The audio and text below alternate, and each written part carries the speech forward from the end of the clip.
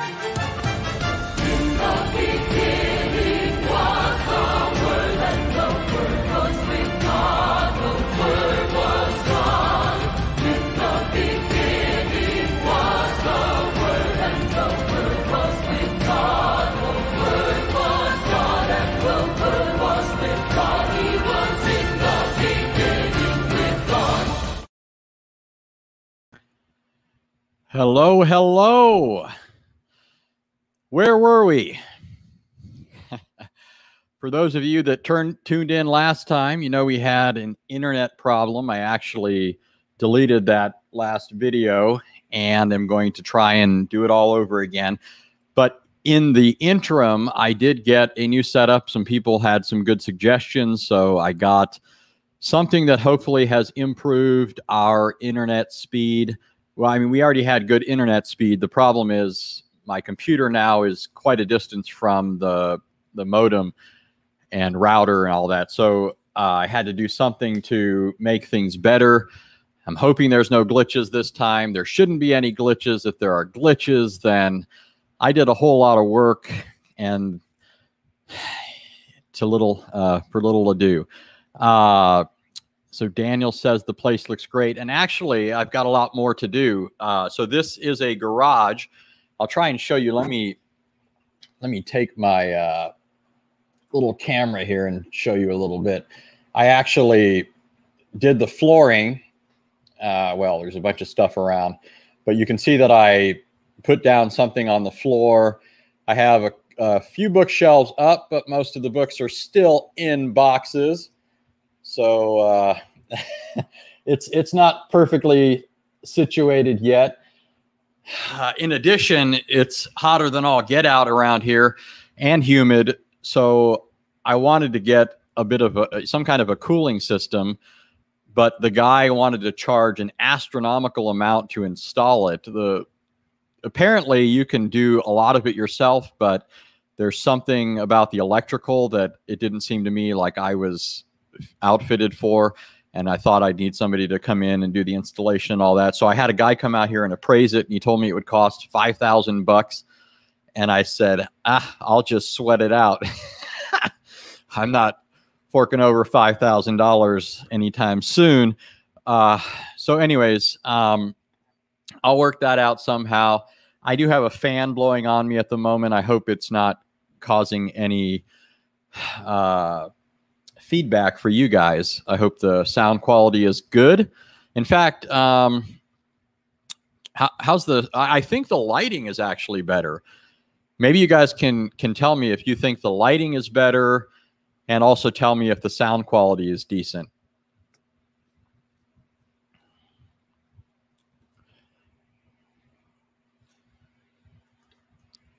Um, so Moses says there's no feedback disturbance. Great, great. So the the fan is not. Uh, so Acts two says the lighting is much better and sound is good. All right, great. And apparently also there are no glitches. So if that is the case, let me welcome all of you here. Uh, we are getting back into the Mark series. Uh, bit of a recap. I know I was doing that last time, but since I deleted that video let me do that again. Uh, we've looked at Mark 1, verses 1 through 3. In Mark 1, we have a very clear statement of Mark's thesis, right? At the incipit of the book, right out of the gate, Mark tells us what this book is all about. It's the gospel of Jesus Christ, the Son of God. So already Mark identifies for the reader who Jesus is. And as you move through the Gospel of Mark, it's apparent that Mark is using the term Son of God in a transcendent sense. He's not identifying Jesus merely as an adoptive son, as is true of believers. Remember, according to the New Testament, believers are sons of God. We stand in a father son relationship to God but we do so by virtue of Christ, who is God's true and proper Son, that is, by nature. This is indicated throughout the New Testament in numerous ways. One classic text on this is Galatians 4, where Paul says, In the fullness of time, God sent out from himself his Son, he uses the Greek word ex apostellein, which is a very strong form of the word to send, and indicates that Jesus, the Son, is sent out from the Father. And then Paul goes on to say, made of a woman, made under the law, to redeem those who were under the law. And so it's evident, given the chronology that Paul is giving there, that the Son is sent out from the Father, antecedent to his being made of a woman. That is, it results in his being made of a woman, which means that he is God's Son independently of and prior to the virginal conception. Right. And then Paul goes on to say, God sent out from himself the spirit of his son into our hearts, whereby we cry, Abba, Father. And so notice you have the same term, ex being used here for the Spirit who's sent from the Father, right? So just like the Spirit comes from the Father, from heaven, he exists prior to uh, be, uh, dwelling in our hearts.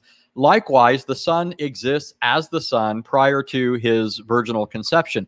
But the, the main point that I wanted to make here is that our sonship is said to be by virtue of the uh, the Spirit uh, of Christ dwelling in us. And so Paul says that we receive the spirit of adoption. So Christ's sonship, according to the New Testament, is not an adoptive sonship. He doesn't become the son. Uh, it's also not the case that Jesus is a son merely in a creative sense, right? We might say that somebody is a son. All you know, rational human creatures might be referred to as God's sons in the sense that he made them. But this is clearly not true in the case of Christ. Uh, and one of the ways, uh, or a, no, a, number of ways, Mark does this. Mark in his gospel, uh, for example, he modifies the term son with the Greek word agapetos. Okay, agapetos is the word that's translated beloved. And it's one of two Greek words that the Jews use to translate the Hebrew word yachid right? Yahid is the word used for Isaac, for example, in Genesis 22. In Genesis 22, God tells Abraham, Take your son, your only son, whom you love, Isaac, and offer him as a sacrifice. There, the Greek or the Hebrew word is Yahid for only son. And when that was translated into Greek, it's used about 12 times in the Old Testament. Sometimes the Jews would use the word agapetos, beloved, other times they would use the term monogenes, which means only begotten. So agapetos, beloved, is the term used more often or really exclusively in the synoptics, Matthew, Mark, and Luke. Monogenes is the term that John uses. Both of those are, are roughly synonymous, at least in this sense, that they are translating the same Hebrew word. And so Mark makes it clear that Jesus is God's son in some unique sense. He is the beloved of the Father. Uh, and of course, since it's roughly equivalent to monogenes, by virtue of being a translation of the same word that monogenes translates, uh, it also points up the exclusivity of Christ's sonship. Uh, it's also clear that Christ's sonship is, is transcendent or heavenly in Mark.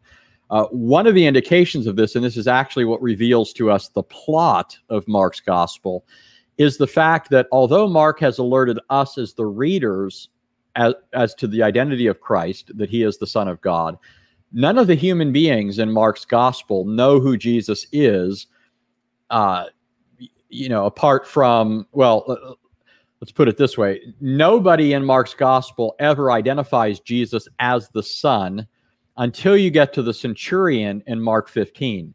And we're going to talk eventually about why that's significant. But this shows you the plot because as you're moving through Mark's gospel, the human beings in Mark's gospel are constantly scratching their heads saying, Who is this man? Where did he get this wisdom?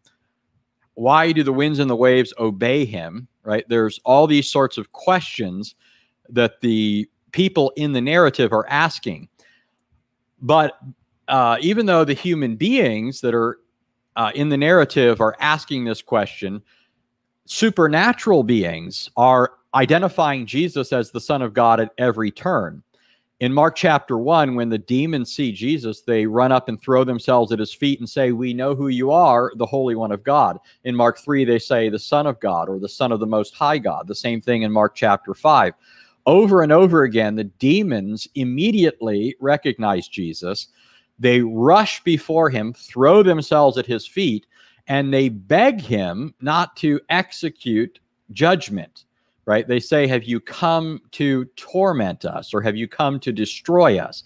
So they believe, by virtue of knowing who he is, that his coming spells for them the crack of doom, right? Jesus has come, he's the Son of God, and therefore they believe he is come uh, to be the agent of their destruction.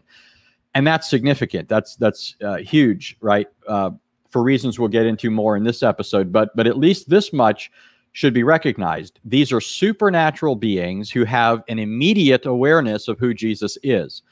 They're not like the human beings in a fog, right? They're, they're not uh, in any confusion over the proper identity of Jesus. We also have the repeated testimony of the Father. The Father at the baptism of Jesus says from heaven, This is my beloved Son, in whom I'm well pleased. There you have the term agapetos. Uh, and it's clear that this is not an adoption. You know, some people have said this that Jesus is here being adopted as God's son. Part of the problem with that, and we'll see more more along these lines, but part of the problem is is, is this is a, a, an indication of Christ being adopted. What do you do with Mark 9 when the Father repeats this statement? In Mark 9 at the Transfiguration, the Father says, This is my beloved Son hear him.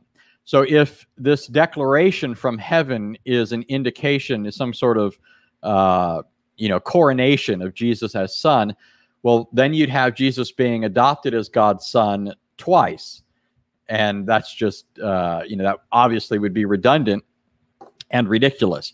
Uh, but it, it's clear for Mark that Jesus is the Son of God antecedent to the baptism. The baptism is the point at which this is being formally uh, acknowledged from heaven at, at John's baptism. But Jesus, as I've already pointed out in previous episodes, is already identified as a divine person in verses 2 and 3 right? In Mark 1, it says the beginning of the gospel of Jesus Christ, the Son of God. And then it goes on to say in verses 2 and 3, as it is written, and to be more literal, the Greek, it's uh, kathos gegraptai, which means just as it is written. And whenever you have that phrase, just as it is written, it always points back to what was just said and is indicating that what's going to follow is explanatory. In other words, when you have the phrase just as it is written, this explains what's what's about to be said, explains what was just said. And so, what is it that Mark goes on to cite from the Old Testament by way of explication of this identification of Jesus as the Son of God? He goes on to cite a passage from Isaiah 40, the beginning of Isaiah's new Exodus section, where he's talking about that future and greater exodus or redemptive act that God is going to accomplish to bring about the salvation of his people. At the beginning of that section, there's this prophecy which says, The voice of one crying in the wilderness, prepare the way of the Lord. That text is intratextually related to two other passages Exodus 23, 20 through 23, and Malachi 3, verse 1 when I say they're intratextually or intertextually related, what I mean is they pick up language. These texts all have some common language between them, which are a tip off that they're talking about uh, the same thing, uh, or at least the some of the same issues are involved in these passages. And uh, if you want the fuller uh, rundown of this, you have to go back and listen to those previous episodes. But the Malachi 3 text, uh, God says, Behold, I'll send my messenger ahead of me, and, and or I'll send my messenger ahead of me, and he'll prepare the way before me. Uh, and then it says, And the Lord whom you seek will suddenly come to his temple, even the messenger of the covenant whom you desire. So, by citing these two texts, both of which identify the coming one as a divine person, right? The Isaiah text calls him the Lord, which is Jehovah or Jehovah or Yahweh in, in Hebrew. By citing Isaiah 40, which says the coming one is the Lord, and Malachi 3:1, where it again is the Lord who's coming, there the, the Hebrew is Ha Adon. It uses not only the word Adon for Lord, but it uses the definite article, the Lord. So Mark cites two Old Testament texts identifying the coming one as a divine person. Okay.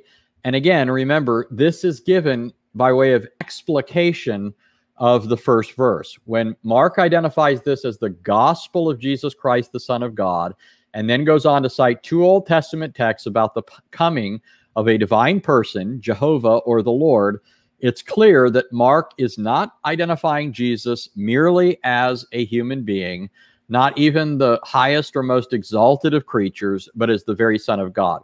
And to uh, you know ramp this up even further, um, okay. Uh, anyway, hold on. I'll get to that. I, I saw a text that I'll get to in a bit. Um, so uh, Mark Mark takes these two Old Testament texts and he gives them a prosopological cast, which means, as I as I was explaining last time in the now deleted broadcast, um, Mark recognizes that often when the the Old Testament uh, here and there, I should say, the Old Testament presents a prophet when he receives revelation being caught up into God's heavenly presence. Or, uh, you know, in some way he's ushered into the divine presence. You know, an example of this very uh, uh, well known one is Isaiah 6. In Isaiah 6, Isaiah says, I saw the Lord lofty and exalted. And, you know, the train of his robe filled the temple. The angels were crying out, Holy, holy, holy. What Isaiah is reporting is this heavenly scene, which he is privy to. And he's reporting what he's hearing the Lord saying. Sometimes he's reporting what he hears the Lord saying to others. Sometimes he's reporting what he hears the Lord saying to himself. So, recognizing this fact, the New Testament writers will sometimes present Old Testament texts that are simply written as straightforward predictions they'll often present them as words that were originally addressed uh, to someone in the hearing of the prophet. Uh, I'll give you uh, one example. Um, in uh, in Hebrews 1 8, it quotes Psalm 45, right? Uh, Hebrews 1 8, it says, About the Son, he says, Your throne, O God, is forever and ever and righteousness is the scepter of your kingdom. Notice that Psalm 45, uh, if you read the psalm, it's just, it, it sounds almost as if the psalmist is making this statement. But when the author of Hebrews cites it, he cites it as words that were addressed by the Father uh, to the Son or about the Son, right? There are other texts like this. Um, in fact, some texts in the Old Testament come right out and do this, right? In Psalm 110, it says, The Lord said to my Lord, Sit at my right hand until I make your enemies your footstool. There in Psalm 110, there, there's there's no need for any New Testament authors to give this a prosopological cast. It's already presented as words that were being addressed to someone, namely to David's Lord. Okay, so uh, the reason I'm bringing all of this up is because if you look at Mark 1 1 or 1 1 through 3, in fact, let me share my screen. Um,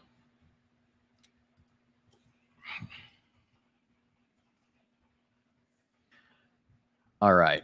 Uh, so here is Mark 1. Let me blow it up as big as I can for you. Notice how Mark renders these words. As it is written in Isaiah the prophet, Behold, I send my messenger ahead of you who will prepare your way. Okay.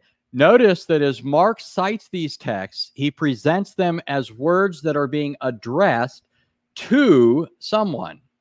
Okay. And we know from the context who that someone is, whose way is being prepared, who's uh, who has a messenger that's being sent ahead of him. Well, in Mark uh, 1 4 through 11, we're told about John the Baptist coming to prepare the way for Jesus.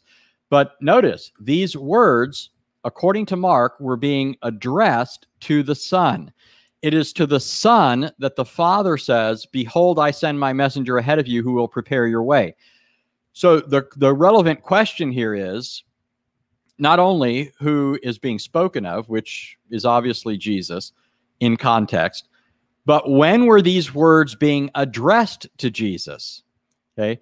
Notice that these verses that Mark cites are uh, take place prior to the narrative. Okay, we haven't even gotten into the, the narrative yet. Okay, verses two and three are presented as words being spoken by the Father to the Son, antecedent to the sending of John the Baptist. Before John the Baptist ever arrives on the scene, these words had already been addressed to the Lord Jesus. Moreover, since these are Old Testament texts that were heard originally by the prophet, they, they're the the scene, and and this is borne out by other things that I pointed out in those previous broadcasts. This scene is a pre-temporal heavenly scene where the Father is addressing the Son. So, over and over again in the first three verses, Mark has indicated in various ways that Jesus is a divine person. And uh, and by the way, uh, notice that uh, Mark uses the future tense here, right? Uh, it says, "Behold, I send," or uh, he uses the uh, futuristic present here. but then he said he uses the future right here. Who will prepare your way? So very clearly, these are words spoken before the sending of John. So already Jesus is being addressed by the Father before we even get into the narrative. So Mark has already made it clear for the reader who Jesus is. Now let's read uh, verses four through eight to get us into into today's topic. Okay, starting in verse 4, reading through verse 8, it says, John the Baptist appeared in the wilderness, preaching a baptism of repentance for the forgiveness of sins. And all the country of Judea was going out to him, and all the people of Jerusalem. And they were being baptized by him in the Jordan River, confessing their sins. John was clothed with camel's hair and wore a leather belt around his waist, and his diet was locusts and wild honey and he was preaching, saying, After me, one is coming who is mightier than I or stronger than I. That's the, the Greek word there, uh, can be translated either mightier or stronger. And then he says, And I'm not fit to bend down and untie the straps of his sandals. I baptized you with water, but he will baptize you with the Holy Spirit. Okay, now I'm going to come back to John in future episodes, probably the next episode. But in order to really see what's going on here with John, we really have to understand what John is telling us about Jesus, right? It's clear that John is making a contrast between himself and Jesus, right? John comes baptizing, Jesus is going to baptize too. But in contradistinction to John, who is engaging in a uh, preaching a baptism of repentance, Jesus is going to baptize with the Holy Spirit. Uh, one way of drawing out the implications of this is to say that John is applying to people the sign. Jesus is going to pour out the reality. Okay. John is uh, preparatory, but Jesus is the, the the real deal. Jesus is going to ultimately bestow on people the Spirit, uh, which is the one of the, if not the central and chief promises of uh, the Old Covenant, uh, what people ultimately need. Remember, uh, throughout the Old Covenant, the people of Israel are constantly upbraided for not keeping the law. And the prophets will often uh, say the reason they're not keeping the law is because they don't have circumcised hearts, right? Moses in Deuteronomy uh, I think it's 30, uh, in Deuteronomy 30 says that you don't have circumcised hearts to obey the Lord. And so when you come to the prophets, they, they prophesy that the Lord is going to circumcise the heart. And how's he going to do that? By pouring out his spirit. So the spirit is necessary to give people a circumcised heart uh, that will enable them to uh, uh, keep the covenant. Okay, so, uh, but here's uh, a quote that I want to uh, use as, as kind of a foil to get into what I want to focus on today. and it's a quote from Brendan Dempsey called The Combat Myth According to Mark. Okay, now I am going to have to uh, explain some of these things. I hope people will hear out my explanation, you know, before they they jump to any conclusions on some of this. But Dempsey says Mark portrays Jesus as the eschatological divine warrior who repeats Yahweh's primordial acts of battling the evil forces of chaos, sea and dragon. Victorious, he then enters Jerusalem in a triumphant procession modeled on ancient Israel's cultic enshrinement of the combat myth, the New Year Festival. There, still following the mytho-cultic paradigm, he repurifies the temple and its environs, assumes kingship at his enthronement on the cross, and battles the final chaos enemy, death. Now, uh, the first thing I want to explain, lest anybody uh, misunderstand this uh, is the term myth here. Now, some people assume that the word myth, when used in academic contexts, uh, means a fable or something that's not true. Uh, but really, this is a term. Now, some scholars may well mean that, you know, uh, but the term itself uh, doesn't carry that inherent idea, right? That might be uh, the connotation for some scholars, but it's not the denotative meaning of the word. Okay, and uh, what all they're trying to do is they're trying to use a term, and and in any case, whatever some scholar might mean, all I mean by this term is what you know. Uh, you know, scholars recognize is the the basic meaning of it, which is uh, any any uh, story or account of things uh, that people had explaining their origins, uh, who they are, where they come from, you know, that, that involve some sort of supernatural uh, background, right? It, it's just, you know, there's probably a cleaner definition I could give you, but I'm hoping you at least get the gist, right? The, the basic idea is that it's a culture's uh, explanation of its its origin, its history, and so forth. And every religion has something along these lines. Okay. Now, obviously, I don't think the Old Testament account of things is a fable or untrue or anything like that. And that's not how Dempsey's using the word in any case. Uh, but uh, there's more to this uh, that that Dempsey says, but I'm going to focus on this first part where he says Mark portrays Jesus as the eschatological divine warrior who repeats Yahweh's primordial acts of battling the evil forces of sea and dragon. Okay, now I wonder if you guys have noticed how often Mark uses uh, the word the sea. Okay. Uh, in Mark 1, he refers to it as the Sea of Galilee. More often than not, he just refers to it as the sea. Okay. In fact, the only time he calls it the Sea of Galilee is here in Mark 1:16, and then later in Mark 7:31, which is actually the last time he refers to the sea, meaning when he's talking about uh, a specific location. Okay. So Mark repeatedly calls it the Sea of Galilee. You see that in Mark 1. You see that in Mark 3, where he calls it the sea. Jesus withdrew to the sea with his disciples. Uh, Mark 4, it says he began to teach again by the sea. Uh, later, it says that, uh, uh or in the same uh, sentence, uh, or excuse me, same passage, it says, such a very large crowd gathered to him that he got into a boat in the sea and sat down. Mark 4 again, it says he got up and rebuked the wind and said to the sea, Hush, be still. Uh, later in Mark 4, it said, uh, the people said, Who then is this that even the wind and the sea obey him? Again, in Mark 5, they came to the other side of the sea into the country of the Gerasenes. Uh, Mark 5, again, it makes reference to the sea. Mark 6, the sea, the sea, the sea.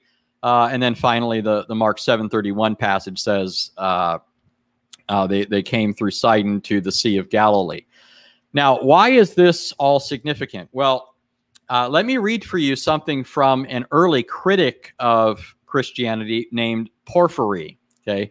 Uh, this is Porphyry's criticism of Mark.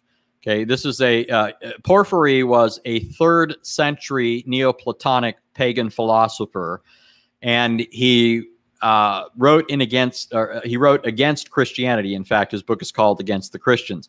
And here's what he says He says, Another section in the gospel deserves comment. He's talking about Mark's gospel. For it's likewise devoid of sense and full of implausibility.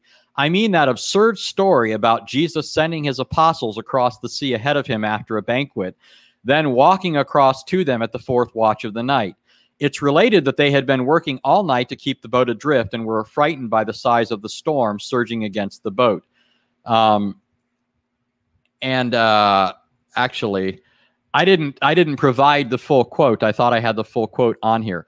What what Porphyry uh, objects to here, among other things, is the fact that Mark refers to it as the sea. I'm sorry for not having the full quote. Uh, Porphyry objects because uh, in the first century, uh, well, in in Hebrew, you have the word yam, which can be used to refer to fresh water and salt water, right? But in Greek, there are two different words that uh, distinguish between fresh water and salt water. There's the term thalassa, which refers to uh, uh, the sea, and then there's the term limne, which refers to uh, a lake. Okay. In fact, notice how Luke repeatedly refers to uh, the, the same body of water. He refers to it as the Lake of Gennesaret. Now, uh, there's no discrepancy here in terms of Gennesaret or Galilee. The, the, the lake uh, was called by many names Gennesaret. Uh, uh, John even calls it the lake or the sea. John uses the term the sea, the Sea of Tiberias. In fact, in one place, John even calls it the Sea of Tiberias of Galilee, right? So the, the sea had various names. But notice that Luke specifically calls it the lake, right? So Luke is a Gentile. He's using the name that would have been used by everybody at the time. Uh, and he uses that phrase consistently. He never uses the term sea. So Luke 8 has the lake uh, several times. Um, uh, so what's going on here? Well, uh, one thing that, uh, in fact, let me let me stop for a moment. Stop sharing my screen to make sure I'm I'm still being followed. Uh, and by the way, thank you, uh, Uriah Smith. Oh, I didn't stop sharing my screen.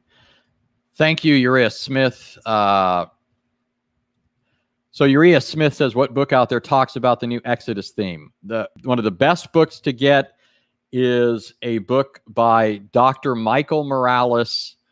Uh, I think it's called Exodus Old and New.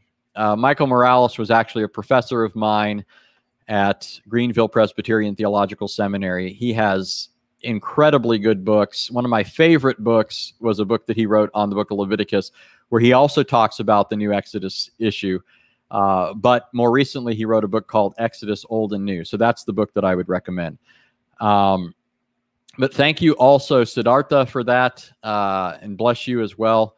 Uh, and let me thank, by the way, my Patreon supporters and everybody who supports me on PayPal. Uh, I'm blown away by your help. It it really does help. Uh, in fact, the good good news here, real quick, before getting back to the topic. Good news is, uh, as many of you know, I have many jobs. My hope has been to be able to do more stuff on YouTube, more lessons, more debates, and so forth. And one of the things that meant was that I needed to be able to scale back from some of my jobs. And uh, because of people supporting, uh, you know, I I'm able to scale back on some of that. you know, I'm always going to have my day job. I serve as a pastor to prisoners. Um, so that's always going to be, uh, you know, uh, something that I do. But, uh, you know, having two or three jobs, I also work in the evening. Uh, I have worked in the evening uh, for a ministry answering theological questions for people uh, that write into the ministry. and I also, you know, preach at churches on Sundays, uh, filling in for pastors, so I have to prepare sermons. So I, am usually pretty busy. And in order to do more YouTube stuff and benefit all of you, I needed to be able to scale back from some of that. The good news is that I'm now able to. Uh, uh, I, have changed my night job, and I'm only going to be working now some of the daytime hours. Uh, I, I switched. I, I'm going to be working uh, daytime hours for that job, and uh, have I'll have more time for stuff in the evening. So thank you so much to the Patreon supporters and to the PayPal supporters. Also, all of that has helped me to, like I said recently, uh, I was having the internet connection issue here, and because people are helpful uh, supporting, I've been a, I was able to get something that hopefully is now uh, giving you a better uh, quality uh, reception. All right. So, what is it that's going on when Mark consistently refers to it as the Sea of Galilee? Now, one of the things that you know to me when when some people are so hyper skeptical and you know we ought to be skeptical of, of skepticism too right i mean it always amazes me how people uh, are are you know it's not that there's something problematic with having a measure of skepticism and wanting to question things and wanting to know the answers to things but there's a point where skepticism becomes absurd right? If if uh, people are so skeptical that uh, you know uh, they they can't even i, I mean that they uh, well that that things that would or, ordinarily not be problematic to them suddenly become problematic. I mean, that's a problem, right? Um, it when you when you think about you know Mark is a first century figure, right? Mark lived in Israel. I, I already did several episodes proving that Mark was the author of this gospel. Mark was a native of Jerusalem, Israel. I mean, he was an Israelite, right? The idea that he didn't know the difference between uh, the body of water in uh, in Galilee and whether it was a sea in the sense that it was a salt water, you know, that, that, that it was a saltwater body or a freshwater lake, uh, automatically, or, uh, you know, it ought to suggest to you, I mean, this is just stretching it a bit. I mean, it's, uh, it, it's better to ask what might Mark be doing here right? Uh, why would Mark use this term sea? Well, what I'm suggesting to you is that Mark is deliberately using the term sea, which, by the way, the word yam in Hebrew, uh, in the Old Testament, it refers to Yam Keneseret, which refers to the, uh, the Sea of Galilee. That term means sea in Hebrew. So uh, if somebody wanted to be, you know, wanted to push this a bit, it, it's already used in the Old Testament in that way, right? So Mark's not doing something here that he doesn't already have precedent for in the Old Testament. But he is doing something that would be, have been uncharacteristic for somebody in his time. And so the question that somebody ought to be asking is why would Mark be doing this? What is it that Mark is trying to make people think about? Okay. And what I'm suggesting to you is that Mark is, uh, is trying to get you to think about this Old Testament motif of God as the divine warrior who rescues his people from the sea. Okay. And moreover, in the Old Testament, the sea is presented as a source of uh, chaos, of disorder, of, of trouble, of destruction, and in fact, as the, uh, uh, if you will, the abode of what's called in the Old Testament, and I'll show you passages for this, the dragon, okay, or Leviathan right? A seven-headed beast. Okay. Now, what's what's that all about? I'll, I'll come to that in a moment. Um, but uh, one thing to to think about. In fact, uh, you guys are all familiar with this. I know that you know some of you may not have seen this in the Old Testament, and I'll show you passages on that. But the Book of Revelation does this as well, doesn't it? In fact, let me show you a passage where it it uses this idea um, to talk about Satan.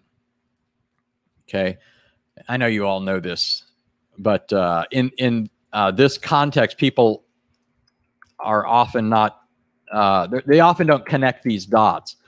So here's Revelation 12, and it says in apocalyptic language, it says, A great sign appeared in heaven, a woman clothed with the sun, and the moon under her feet, and her on her head a crown of 12 stars.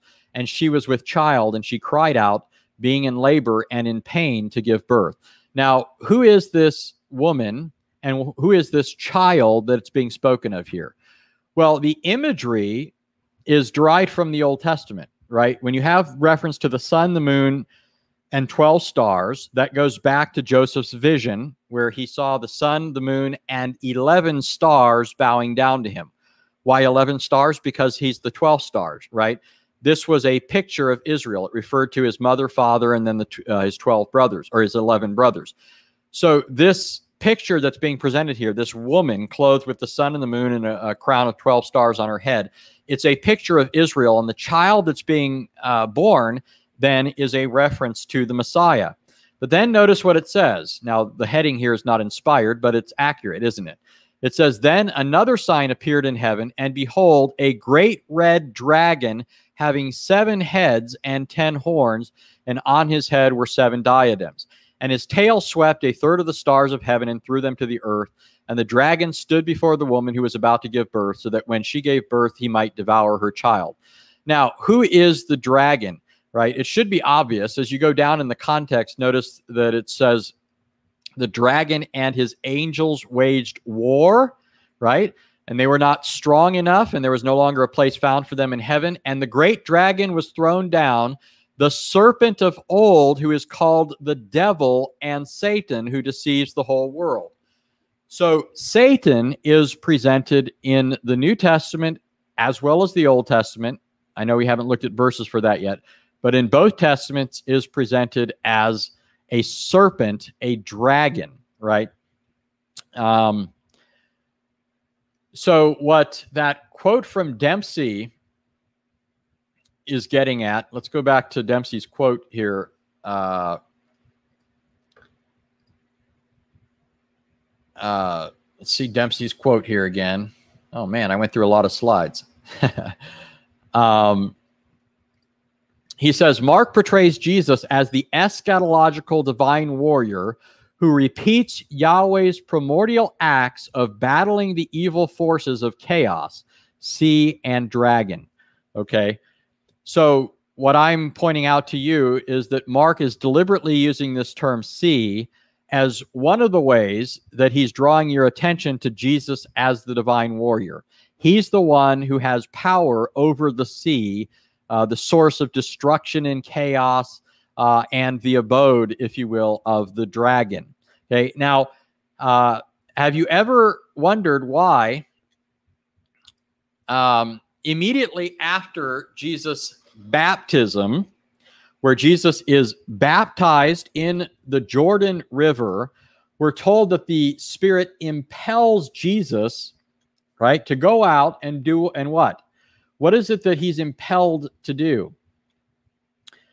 Uh, he, he's sent out to be tested or tempted by Satan. Right? So immediately after Jesus' baptism in the water, he's driven out and tempted by Satan. And repeatedly, we see Jesus uh, doing battle with Satan's minions. Now, we're not yet looking at uh, verses uh, 13 and 14. Um, oh, so Binet says the dragon seems a lot like Rome in Revelation 17. Now, uh, one thing I'll say without getting into the whole issue of uh, who that refers to is when it, it's very interesting in the Old Testament when it talks about uh, Leviathan or these other evil forces like Rahab or uh, the Tannin. There are other terms that are used to refer to these evil entities. Sometimes it's referring to political entities. Sometimes it's referring to the evil entities behind them, right? That's why you have passages like Isaiah 14 and Ezekiel 28, where sometimes people are saying, is this referring to a political ruler like the king of Babylon or the king of Tyre, or is it referring to a evil entity in back of them? Well, it's both, right? Because uh, you know Satan is is acting through these evil empires. These evil empires are. That's why you have, uh, for example, in the book of Daniel. Daniel presents these evil empires that rise up against God's people to destroy them. He describes them as ravenous beasts, right? But he's he describes them uh, or like the book of revelation talks about a beast coming up out of the sea right? So it's it's referring in in one sense to the evil agent behind but also to the the face of that evil entity uh you know the, the political power that's being animated by it right? So whatever the specific political identity of the beast in in revelation 17 and I, am only not getting into that because I don't want to be distracted by it. It is a political entity there, but in Revelation 12, it's very clear that it's a reference to Satan, right? Because it explicitly says that it's referring to Satan. Um, but uh, in in Mark chapter one, you have John the Baptist coming. He identifies Jesus as the strong one.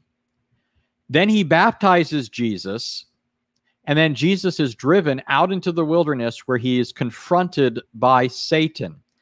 In fact, Mark uniquely says that Jesus was in the wilderness with the wild beasts. Why does Mark make reference to that? Well, I'm going to hold off on that, but I, I want you to get a flavor for some of this. Mark is drawing on this Old Testament uh, stuff, right? In the Old Testament, Satan is portrayed as a dragon, a serpent, a snake, as the enemy of God's people. He's associated with the, the sea, and God, when he delivers his people, is not only delivering them through the sea and from the sea, but also from Satan. Uh, and those that Satan is using. Remember that when God was doing battle with Egypt, destroying Pharaoh and his armies, uh, he was also at the same time doing battle against the objects of Egypt's worship.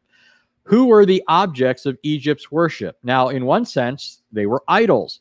But in another sense, as scripture also tells us, back of those idols were demons. Deuteronomy 32 tells us that back of the idolatrous objects of pagan worship are demons.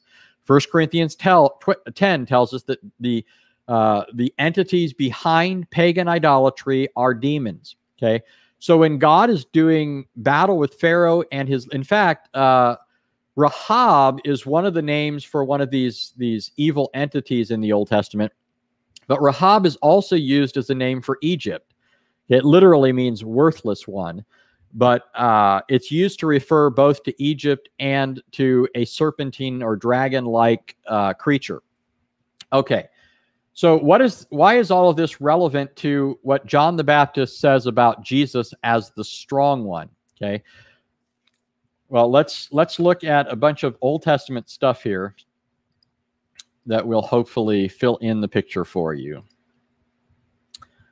All right, so we got to move past all this stuff about Satan and the sea. Actually, I didn't show you. Actually, let me show you this. Um, so in Mark 1, he makes reference to Jesus as the stronger one. Okay, he uses the word iskurateros, which is an adjective, means stronger. uh, but I, I'm only pointing out that it's an adjective because I'm going to show you other instances where uh, a different form of the same word is being used, basically, right? This is adjectival, but elsewhere we're going to get a noun and so forth. But it's it's the same. Uh, it, it's it's just a different form of the same idea. Um, but here's Exodus 15 verses one through four. obviously a song celebrating God's deliverance of his people at the sea. It says, Then Moses and the sons of Israel sang this song to the Lord and said, I will sing to the Lord, for he is highly exalted. The horse and its rider he has hurled into the sea.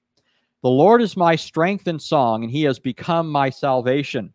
This is my God, and I will praise him, my father's God, and I will extol him. The Lord is a man of war. Okay. Yahweh ish milchama. Okay. It literally says Yahweh is a man of war. Okay. Pretty significant, right? Um, you know, it, it's it's not just saying that God is a warrior, which is uh, the main emphasis that I want to make, but it specifically calls him a man of war in his coming to deliver Israel, right? So at the redemption of Israel from Egypt, God is presented as a man of war. In fact, um, it's interesting in the Talmud, when the post Christian rabbis are battling against the earlier Jewish idea of more than one divine person, okay, and we've talked about this before.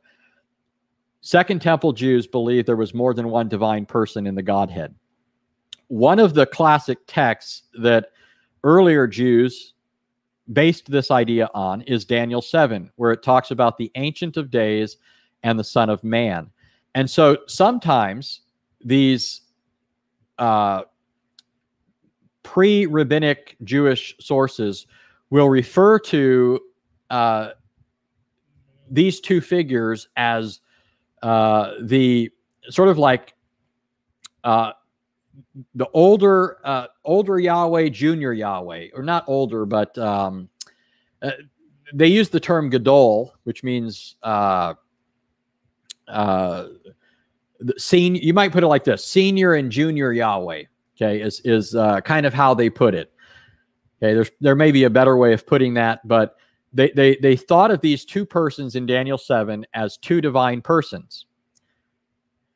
And when they looked back at the Exodus, Exodus 15, they said this was the second Yahweh, right? The second person who is being portrayed as Yahweh and they said he's uh, uh, so when the Talmud is trying to refer to this, they try to answer these earlier Jews by saying, um, uh, well, how do I put this?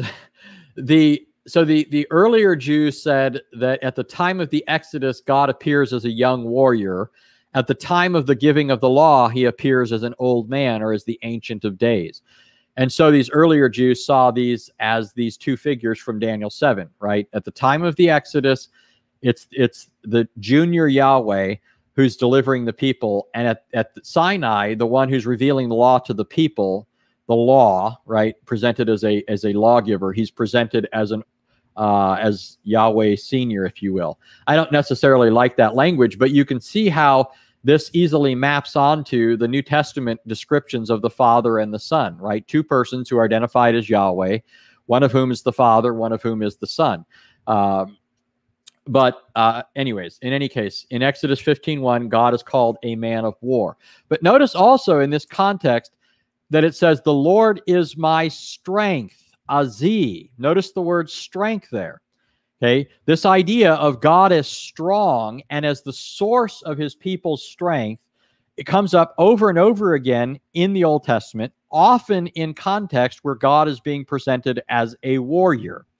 Okay, uh, here's another example.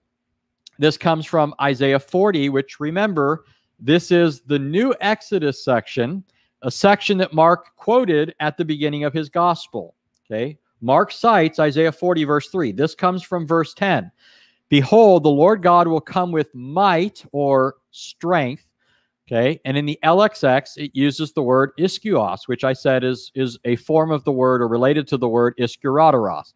Behold, the Lord, the Lord, he comes with strength. Okay. Even the arm with dominion. Later in Isaiah 42 13, still in this new Exodus section, it says, The Lord will go out like a warrior. Notice it again. Uh, it's the word uh, kegabor. Uh, ka is the um, uh, uh, how do you uh, uh, it's a preposition that's attached to a word and it means like or as. So it says the Lord will go out ka gibor. Gibor is the word for warrior or man of war. Okay. The Lord will go out like a warrior. He will stir his zeal like a man of war. Oops. He will shout. Indeed, he will raise a war cry. He'll prevail against his enemies. In the LXX, it says, He shall yell against his enemies with strength, ischios. Okay. Here in uh, Isaiah 40, verse 29 and 31, it says, He gives strength to the weary, and to the one who lacks strength, He increases power. Yet those who wait for the Lord will gain new strength. Again, God is being presented as strong and as the source of strength for His people. The Septuagint uses the word uh, uh, ischios, uh, a form of the word. Uh, it says, He is giving strength to the hungering ones, but the ones waiting upon God shall change in strength. Uh, later in Isaiah 41:10, it says, Do not fear, for I am with you. Do not be afraid, for I am your God. I will strengthen you. I will also help you. I will also uphold you with my righteous right hand. Um, uh, oh, I'm thinking, why, why did I have this on my slides? Well, obviously, because it uses the word uh, strengthen, right? In the LXX, it's a form of the word uh, eskuos, um, and it means, uh, you know, well, it's the one strengthening you as I have there in uh, parenthetically. Um, so it's it's um, a participle, uh, but it's being used uh, substantively, meaning it's it's being used as functioning as a noun. The one strengthening you. Okay, so God is called the one strengthening you. I will also help you. I will also uphold you with my righteous right hand. Isaiah 42 13, I already quoted that. I guess I have it duplicated here.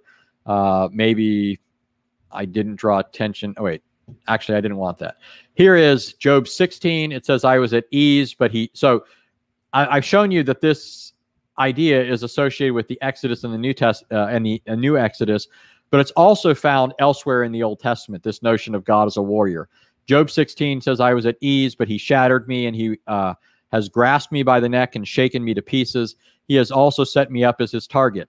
His arrows surround me without mercy. He splits my kidneys open. He pours out my gall on the ground. He breaks through me with breach after breach. He runs at me like a warrior. So notice it refers to God's arrows, and then it says he runs at me like a warrior. Cut Gibor. Okay. Uh, Jeremiah 20 says, The Lord is with me like a dread warrior uh, and the word uh, uh, well, the word for it's uh, Gibora Aritz. Uh, so you have the word Gibor again, right, which means warrior, uh, and Aritz, which means uh, dread, dreadful or awesome, right? So he's called uh, Kugibor Aritz, right, like a dread warrior. So notice this language, right? Gibor, uh, Iskuon, uh, the idea for strength. All these terms are being used for God to identify him as a strong warrior, a man of war. And all of these things are associated with God, especially at the Exodus and in relation to the new Exodus. Uh, but it also presents God as a warrior whenever he's engaged in uh, some kind of uh, battle or confrontation especially with his enemies and the enemies of his people. Now, let me stop here for a moment because I want to ask you guys a question. You all have actually heard the word Gibor before. I'm pretty confident, or at least most of you have. Can you guys think of another place where the word Gibor is used? Maybe you guys have already commented in the chat section because the word sounded familiar to you. But where have you guys heard the word Gibor? Jeremy Wong gets the prize. Isaiah 9 6, right? In Isaiah 9 6, the Messiah, what does it say about the Messiah?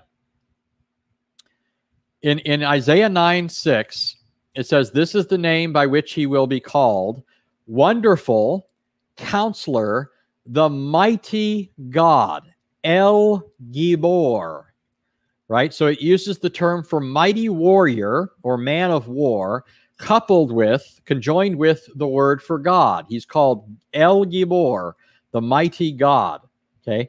He's also referred to as Gibor or the mighty one in another psalm that you should all know well. This is Psalm 45.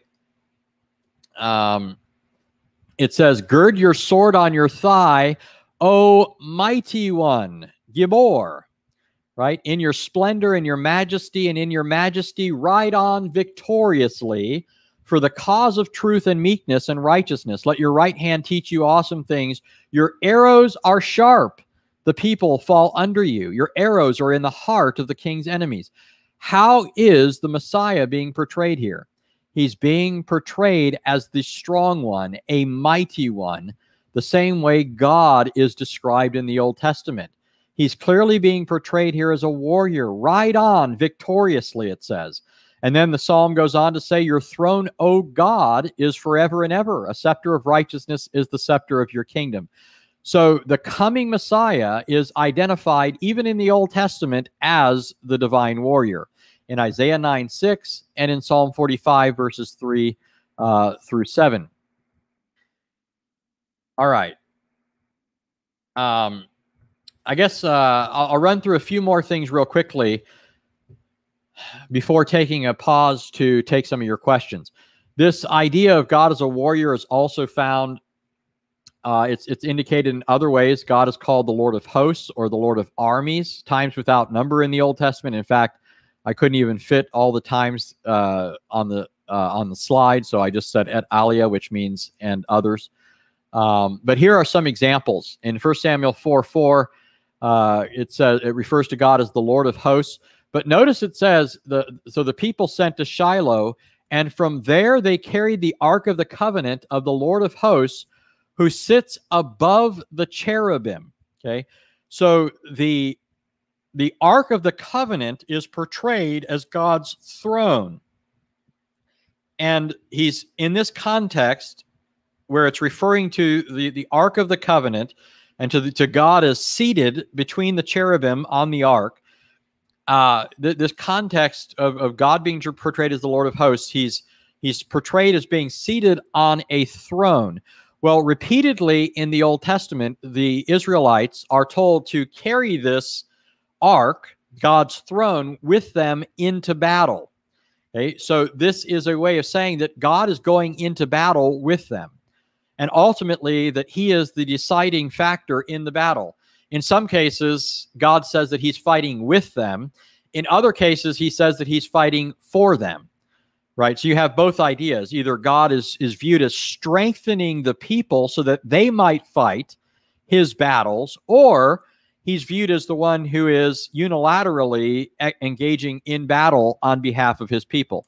Uh, so, for example, um, this is First Samuel 17. It says, Then uh, David said to the Philistines, You come to me with a sword, a spear, and a javelin, but I come to you in the name of the Lord of hosts, the God of the armies of Israel, whom you have taunted. This day the Lord will deliver you up into my hands, and I'll strike you down and remove your head from you. And I'll give the dead bodies of the army of the Philistines this day to the birds of the sky and the wild beasts of the earth, that all the earth may know that there is a God in Israel and that all this assembly may know that the Lord does not deliver by sword or by spear, for the battle is the Lord's, and he will give you into our hands. Uh, in First Chronicles 14, it says, The Philistines made yet another raid in the valley. David inquired again of God, and God said to him, You shall not go up after them, circle around behind them, and come at them in front of the balsam trees. It shall be when you hear the sound of marching in the tops of the balsam trees, then you shall go out to battle for God will have gone out before you to strike the army of the Philistines. Now, this text is, uh, man, I love this text because uh, notice what it's saying.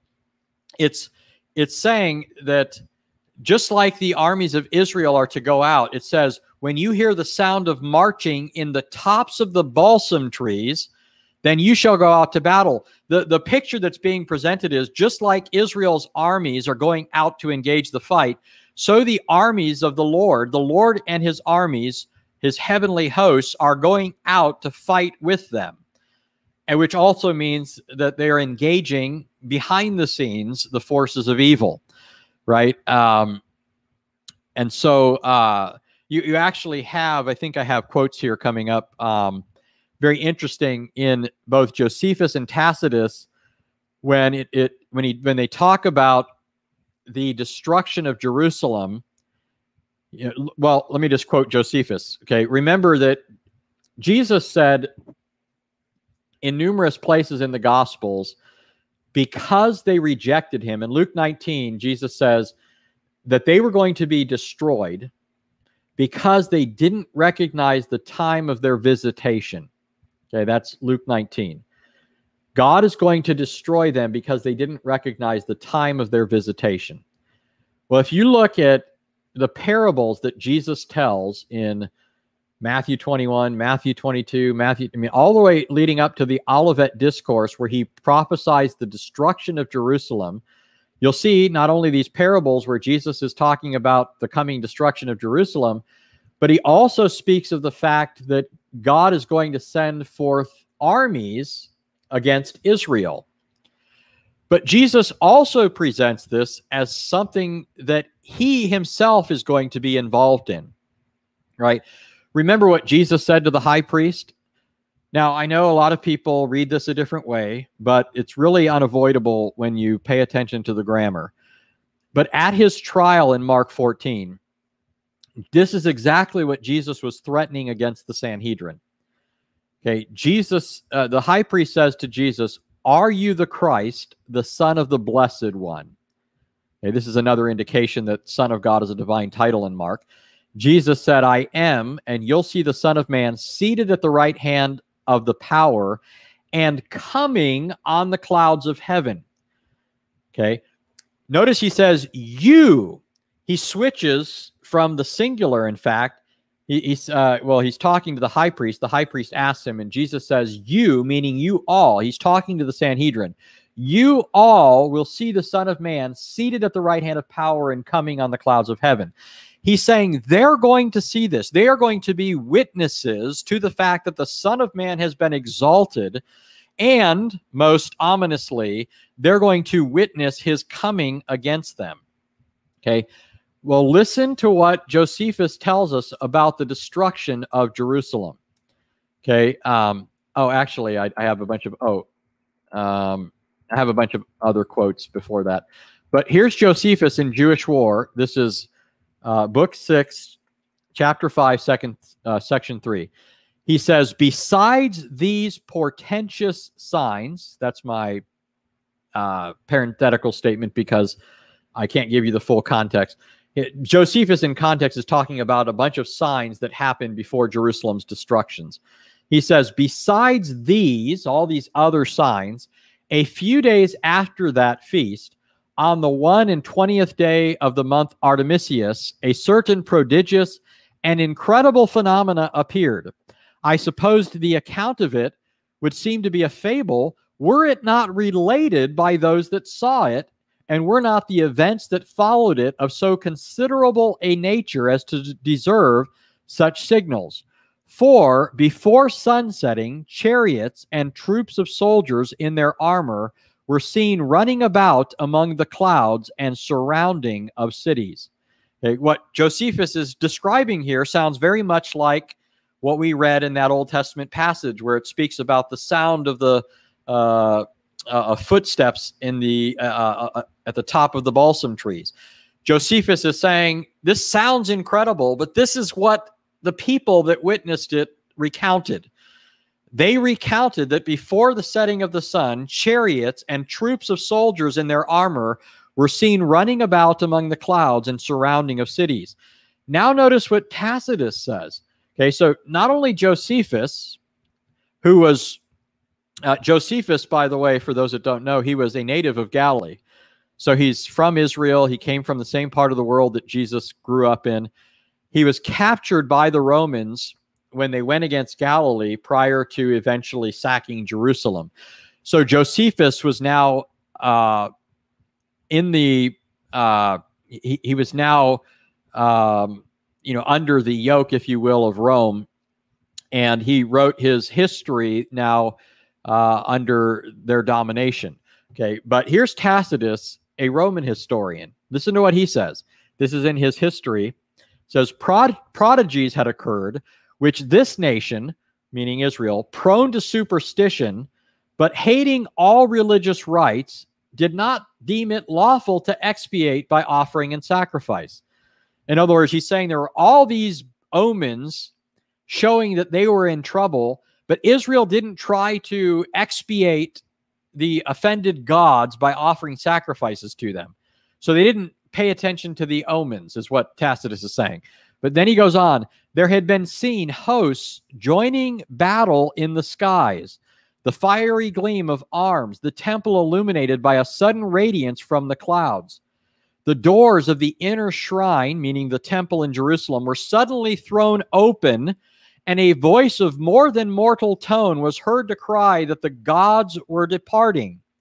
At the same uh, instant, there was a mighty stir as of departure.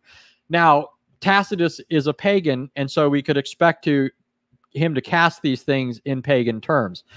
Uh, but but Tacitus is saying that, and Josephus, by the way, mentions uh, the opening of the doors as well. And uh, what, when when Josephus recounts the words that were spoken from the temple, the superhuman voice that was uttered, that was heard when the doors of the temple which uh, the, the doors were massive, right? They don't just open on their own. It wasn't like, you know, some modern hotel where you you've got these uh, you know, automatic doors. These doors didn't just open by themselves. These uh, uh, so these doors open and and Josephus says that a voice was heard saying, "Let us depart."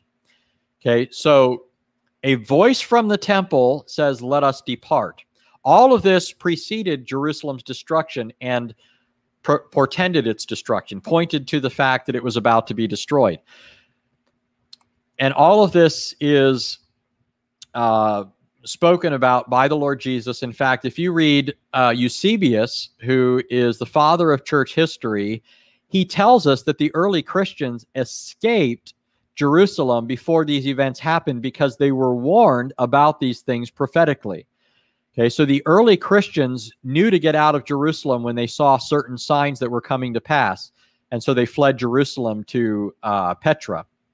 Um, now, uh, there's another statement in Josephus that I actually have to mention. It's one of my favorites. Um, in, uh, I think it's also in book six. I'm going from memory here, but one of the things that the Romans did was they had these uh, they were masters at war, right? Uh, no wonder Daniel describes it as the most fearsome beast that he had seen. Uh, but Rome, uh, one of their weapons of war was their catapults, which were able to hurl 100 pound stones, right? And Josephus, in his description of these, uh, and by the way, they were called scorpions, right? Because their tail would uh, hurl these things, and so it was like a, a scorpion sting. But the stones were a hundred pounds, and they were white. And so he uh, Josephus tells us that when they would go through the sky, they would reflect the light of the sun, so that when people saw them, they had this brilliant appearance to them, and they made this uh, hurling, whistling noise as they were hurled through the air. And so Josephus says in book six, when the first stone was shot from the catapults, the watchmen on the wall started crying out, warning the people. And here's what they said they said, as they saw this brilliant light hurling through the air, they said, The sun is coming. The sun is coming. It's S O N in Josephus. Not S U N, it's S O N, right? Uh, maybe I'll come uh, next time and I'll have that quote for you. But again, it's in book six if anybody wants to look for it. So uh, uh some of this was sort of a, a tangent because I was reading these um, uh, these other passages that reminded me of it. But but the whole upshot of this is that God in the Old Testament is presented as a warrior who does battle with uh, his enemies and the enemies of his people, which include not merely flesh and blood, but ultimately, back of them, principalities and powers and so forth, right? That's why the New Testament says that our war is ultimately against them.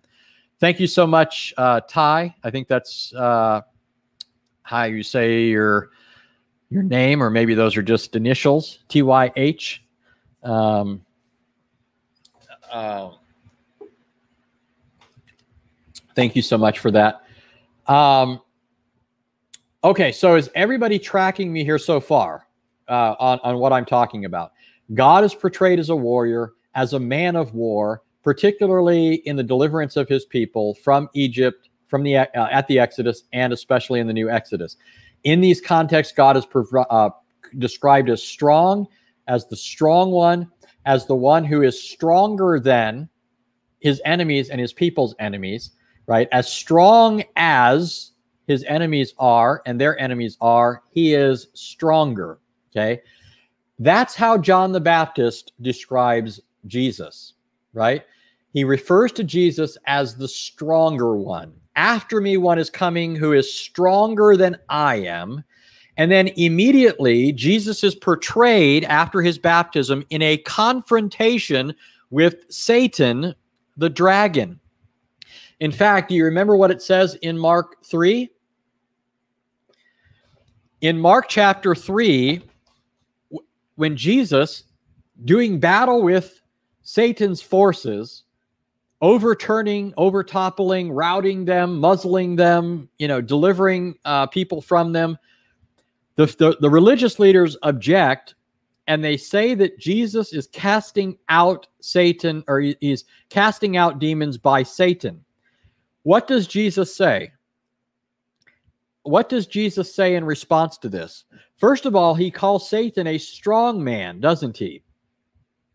He calls Satan a strong man, but he identifies himself as the one who is stronger than Satan. Okay. In fact, um, I'll pull that up for you so you can see it. We'll go to Mark 3.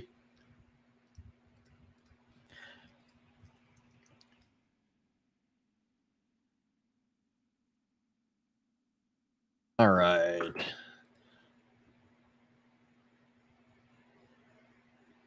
Oh, here we go. Mark 3, it says, He came home, and the crowd gathered again to such an extent that they could not even eat a meal. When his own people heard of this, they went out to take custody of him, for they were saying, He has lost his senses. The scribes who came down from Jerusalem were saying, He's possessed by Beelzebul, and he casts out the demons by the ruler of the demons. And he called them to himself and began speaking to them in parables. How can Satan cast out Satan? If a kingdom is divided against itself, that kingdom cannot stand. If a house is divided against itself, that house will not be able to stand. If Satan has risen up against himself and is divided, he cannot stand, but he is finished. But no one can enter the strong man's house. Oops the strong man's house and plunder his property unless he first binds the strong man and then he will plunder his house. And then Jesus gets into the whole issue of the uh, blasphemy of the Spirit. Okay.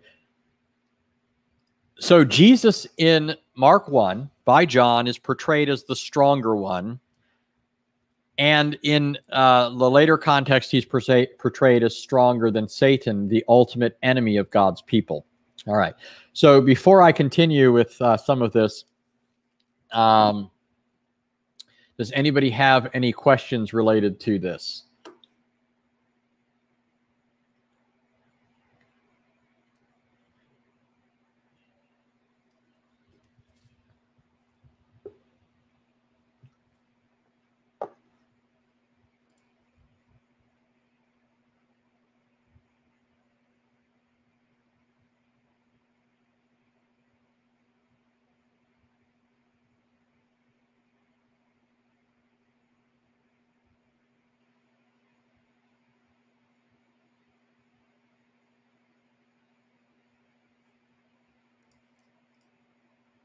I'm sorry.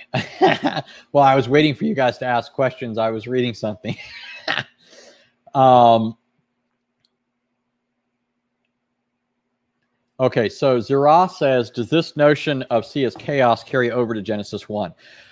Okay, so there, there's a lot more for me to say regarding this whole notion of Chaoskampf. Some scholars go in some directions I wouldn't. Um, uh, but I, I would say this. Um, in, in Genesis 1, you have this notion of the world being submerged, right? It's shrouded in water. It speaks of the Spirit of God uh, brooding over the surface of the deep, right? And then later you have God uh, ca- causing the waters to part and the dry land to emerge. There's no suggestion in Genesis that any of this is out from under the control of God and God somehow needs to get it under control, right? By the way, the word Chaoskampf means um, literally it's from German, means struggle against chaos. But but you do have like in, well, so in these ancient Near Eastern myths, you have all this notion of the sea as a god, and the uh, some other god is presented as doing battle with it, like Baal or uh, Marduk or what have you. Um, and and some people will try and uh, push this notion back into the creation account, even though in some of these other ancient Near Eastern contexts, it's not talking about creation, right? You you have different you have different ancient Near Eastern discussions of uh, the gods and uh, battle with uh, evil enemies like uh, associated with the sea and that sort of thing. Uh, and it's obvious that when you look at Genesis 1, that if there's any idea of any of this in the background, Genesis is engaging in a polemic against that. The sea is not presented as something that God needs to gain mastery over, right? God is presented as creating everything, including the sea. However, even in Genesis 1, the sea is an impediment to man who is a land dwelling creature, right? The sea, the sea has to be parted, dry land has to emerge in order for man, who is a land creature, to dwell on it. And so the uh, when Genesis describes God creating heaven and earth, it says that the earth was without form and void. So it's uninhabited, it's a desolate place, and it's uninhabitable until God does the successive acts uh, making it a fit habitation for man. Later, when the fall occurs and you now have uh, evil introduced into creation, uh, now evil becomes associated with some of these domains, right? And so when God pours out judgment, uh, he also does. He often does so by unleashing uh, the the sea, if you will. Uh, so he, he, he removes the boundaries of the sea, like at the flood. Um, or uh, in the case of uh, Egypt, right, he drowns the Egyptian armies in the sea. But for Israel, the waters are parted again so that they can cross over. In all of this, you see God is, you know, uh, stronger than uh, the sea, uh, but there's never any sense of, um, you know, the sea being out from under the control of God uh, or anything like that. It's God's powerful word that parts the waters and so forth. But I would say that after after the Genesis creation account, you do now have introduced this notion of of evil. You know, uh, well, I won't go into that. There was something else I was going to go into, but it would take too long. Um, so I wouldn't say that there's no relevance, but I, I, I wouldn't agree with the direction that some people take that look at some of these ancient Near Eastern things and and read some of that back into the Old Testament. I, I hope that was an answer uh, the, to what you were asking. Um, um, let me see. Okay, so let me, just read your question again because I want to make sure I answered that. Uh, does this idea of sea as chaos carry over to Genesis 1? Okay, so there's no sense in which the sea is somehow uh, this unruly thing that God needs to tame, but there is this notion that the sea is an impediment to God's goal of creating man. And so God needs to part the waters, cause the dry land to appear. Later in the Bible, once evil is introduced into the creation, uh, the sea becomes uh, either a, a tool that God uses for judgment or it's described in some way uh, as this tumultuous thing that's associated with evil forces and, and uh, the dragon, uh, Leviathan, and so forth. In fact, I never showed you any passages on that, did you? Um, well, maybe I'll do that after I answer some questions or next time. Um, so let's see, any other questions here? Um, any other questions, folks?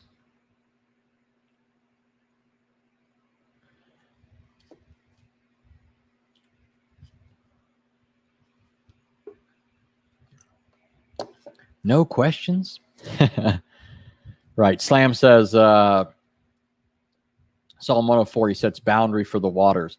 Now, if I'm not mistaken, and this also is relevant to all of this, in Psalm 104, and certainly in other Psalms, God is portrayed as muzzling the sea, right? Muzzling it, saying, be quiet or be still. That's the same thing Jesus does in the New Testament. He literally says to the sea, be muzzled. This is the same language that Jesus uses when he confronts the demons be muzzled, right? So you have this association in Mark's gospel between demons and the sea. And you also have uh, uh, that idea in the Old Testament, this idea of God muzzling the sea. Um, yeah, so uh, Jack races, the Bible makes a point that the sea is just another part of creation. So I hope nobody would misunderstand me. And I'm not saying Jack did, but I, I do want to underscore it since Jack made this comment. The sea is never presented as something out from under the control of God. Satan, his minions, everything is subject to God's sovereignty. However, Satan is morally in rebellion against God, as are his minions. And so there is this ethical sense, there's this rebellion. And God had he chosen to do so, could have put down that rebellion immediately. However, God, in his patience for purposes that he explains throughout Scripture, has not chosen to end all of it uh, immediately, uh, but in the way that he's chosen to do so. Uh, one, you know, we should rejoice in that.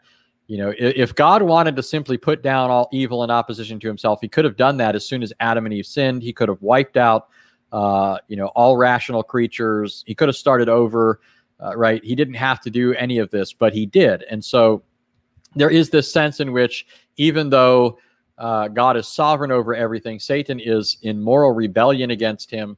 And, uh, you know, God is portrayed as doing battle against Satan and his forces.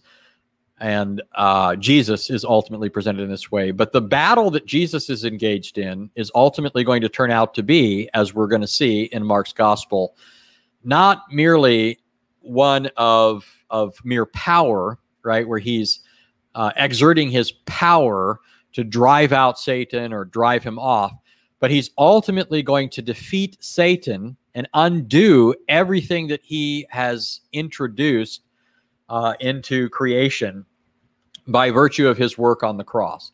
It's ultimately at the cross that Jesus is going to defeat Satan, right? That's why Paul can say in Colossians 2 that it was at the cross that Jesus disarmed evil powers and made a public spectacle of them, right?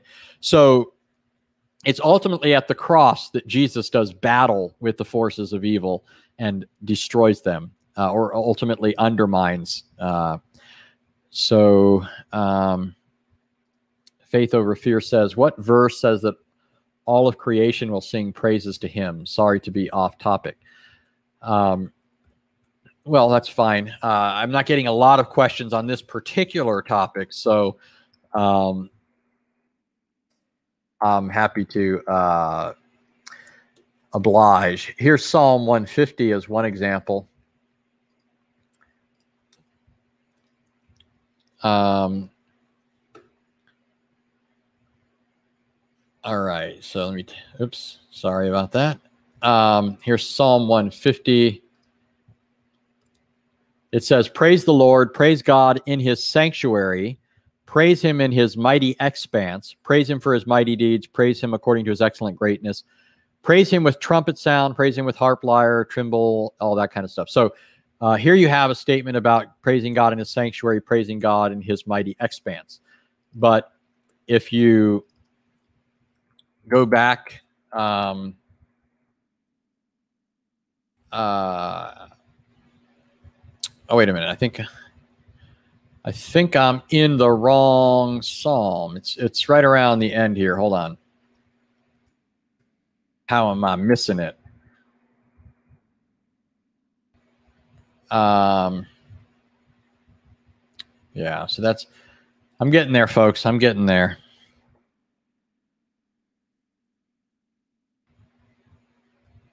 It might be, I knew it was going to be the one psalm that I, I'm not turning to. I'm, I'm thinking it's, uh, oh, here it is. I knew it was in the last five. It says, Praise the Lord, praise the Lord from the heavens, praise him in the heights, praise him. That's why I was thrown off because you have that similar language to Psalm 150. Praise him, all his angels, praise him, all his hosts, praise him, sun and moon, praise him, all stars of light, praise him, highest heavens, and the waters that are above the heavens.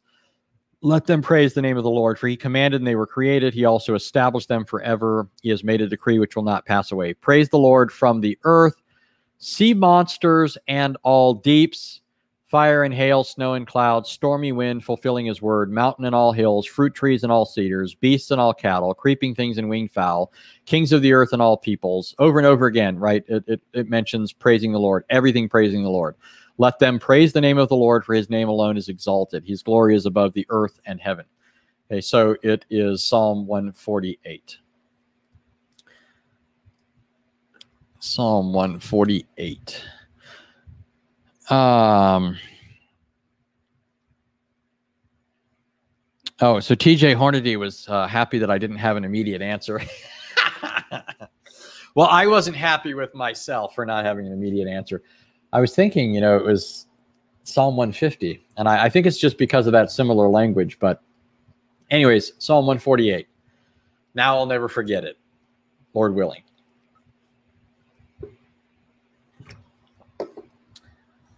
All right. So Air K says, Hey, Anthony, great study, brother. Was just curious. Have you engaged with Robert Alter's work on the Old Testament? If so, what are your thoughts? Generally speaking, should Christians engage with it? Thanks. So, um, I I haven't read it. I haven't read Alter himself. I've read some quotes and stuff from Alter, so I, I couldn't give you. I, I can't say yes to that, and because I can't, I, I wouldn't want to give you my assessment of Alter. Um, but I, um, I'm trying to think if I even have. The name comes up so often that I think it's probably a shame that I haven't read anything by Alter. Am I still sharing my screen? So I'm sorry I have to say I don't know to that. Um, sorry I can't say I've read it, but I'm trying to remember even if I've heard so so I've you know I obviously read scholars I like I read scholars I dislike. My concern here is that I'm not sure if I've read people quoting him favorably. Uh, so I couldn't even tell you what scholars I do find to be competent and reputable say about him. So I'm just going to hold off and say I don't know. Um, so Arabian Prince says any upcoming major debates. Uh, so yeah, August 21st, I have two debates with Shabir Ali. Again, uh, this will be my fifth and sixth debates with Shabir. Uh, we're going to be debating salvation in Christianity, salvation in Islam. So those will be two interesting debates. Uh, they're going to be relatively short debates. I think about an hour and 15 minutes long, which is fine. It gives you a bite-sized uh, thing to chew off there. But I'm trying to get a debate with Jake, the Muslim metaphysician. Here's the interesting thing about this. So, Jake, without alerting me, he posted a video a while back after my discussion with Uthman ibn Farouk, where Ibn Farouk kept saying, I'm not a debater, I'm not a debater. Right. So, so Uthman doesn't want to do a formal debate. So Jake, the Muslim metaphysician, went on his channel and started, you know, talking about some of the discussion, which I didn't even really get to finish with Uthman. And you know, Uthman didn't for the life of him know what I was talking about. That's why I want to engage him in a formal debate. And it was apparent to me from Jake's comments that he didn't know what I was getting at either. And so I was thinking, uh, when I'm listening to this, you know, he wants, I know he styles himself as a philosopher and thinks he's prepared for that. Uh, but, anyways, he, he goes on his show and he said he uh, he's challenging me to debate, but he never sent it to me, right? What what was what reason would there be for him to think that I watch his channel? right? He didn't do anything to send that to me, so I didn't know it existed.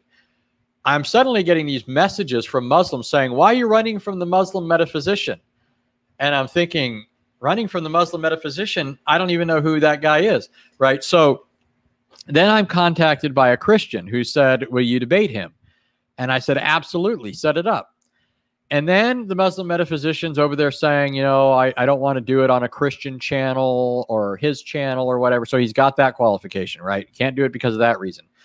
Uh, then he says, oh, uh, I can't debate right now. I'm very busy. What does he do? He turns around and he has a debate with James White, who has no background in philosophy. Okay. I'm not saying anything about how James White did in that debate. I didn't hear the debate. The only thing I heard, I listened to uh, Jake's opening statement. Okay. So I don't know how well James White did or didn't do. Okay. I just know that philosophy is not his expertise, it's not his strength.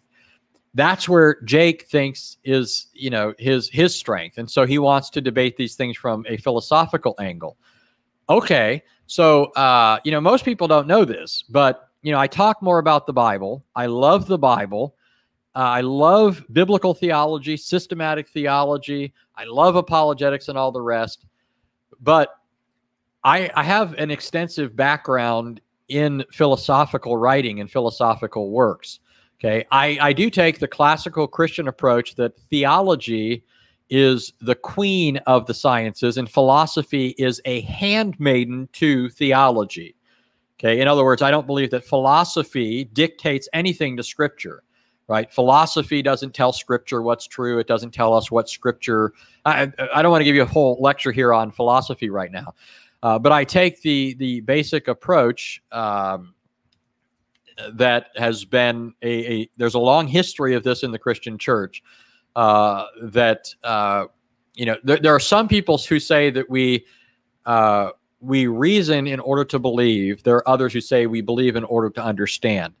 Uh, that latter approach was more the approach of Anselm, who says that we begin with God's revelation to us and then we reason from that. So philosophy is subordinate to theology and it's used as a tool. It's not a lord or a master of God's revelation. So it can't dictate to scripture what's true and that sort of thing. But, anyways, uh, not to get into all of that, that's a, a subject for another time. But uh, I'm thinking I'd love to debate Jake. He's challenged me. Now I'm talking to him, and he's got all these qualifications. It's got to be on this channel or that channel. Uh, and I don't care. I've said I'll do it on anybody's channel. I'll go on SC Dawa, uh, SC Dudu. I'll go on Muhammad Hijab's channel. Uh, you know, you you name it, I'll come. If they cut me off, hey, I've got my own YouTube page to address them. I don't care. So um, I've said I'll do it anywhere and all of this is taking place through a mediator, right? Somebody else is co- corresponding with him and corresponding with me. Then, uh, you know, so he tells me, then he says uh, he's too busy until the end of the year. I think, fine, no big deal. But he's had a debate now with James White. Now I know that he's uh, uh recently set up a debate with Samuel Green, right? I love Samuel Green to pieces. Um, but I'm thinking to myself, why is this guy who wants to argue philosophically, trying to engage people that he doesn't have any reason to think have a philosophical background, right? Uh, and and again, uh, don't misunderstand that. I, am this is I didn't hear James White in that debate, okay, and I don't even know what Samuel Green's going to say in his upcoming debate. Uh, praise the Lord for Samuel Green. Love Samuel Green my my comment here has to do with what looks to me suspicious with respect to Jake Brancatella. That's his last name. Which, by the way, he's Italian. Kind of kind of grates on me. I don't know if he's Sicilian, but he does say he's Italian. Brancatella is Italian. Okay, my background Sicilian. So, um, but uh, you know, Jake, that's his angle. He doesn't want to really. Uh, anyways, so uh, I do hope that we're going to be having a debate, but at this point, it seems like it, it seems like there's a lot of beating around the bush, and I really hate the one thing I hate uh, is what I call pre-debate debates. I don't like all the stuff, all the back and forth that goes on before the debates, right? Where they're debating about how we're going to debate, where they're debating about where we're going to debate, debating about the format of the debate, debating about, uh, you know, every possible little thing they can pick at before the debate ever takes place, right? Uh, it's kind of like, it, it reminds me a lot of like a boxing match or a UFC match, you know, where at least some fighters think that, you know, half the battle or 30, you know, uh, three fourths of the battle is what takes place before you ever enter the ring, right? So you've got uh, what's his name, uh, McGregor. Uh, I forget his name. McGregor uh, always engaging in this pre-debate uh, debate banter where he's trying to you know put down his opponent. Obviously, they're trying to you know psychologically uh, get in the person's head. You know, Muhammad Ali used to do it. Some of it's entertaining. In fact, it's entertaining. That's why they do it. They're trying to, in, in the case of fighters, they're trying to uh, psych the other person out and they're trying to draw attention to their fight. I understand that.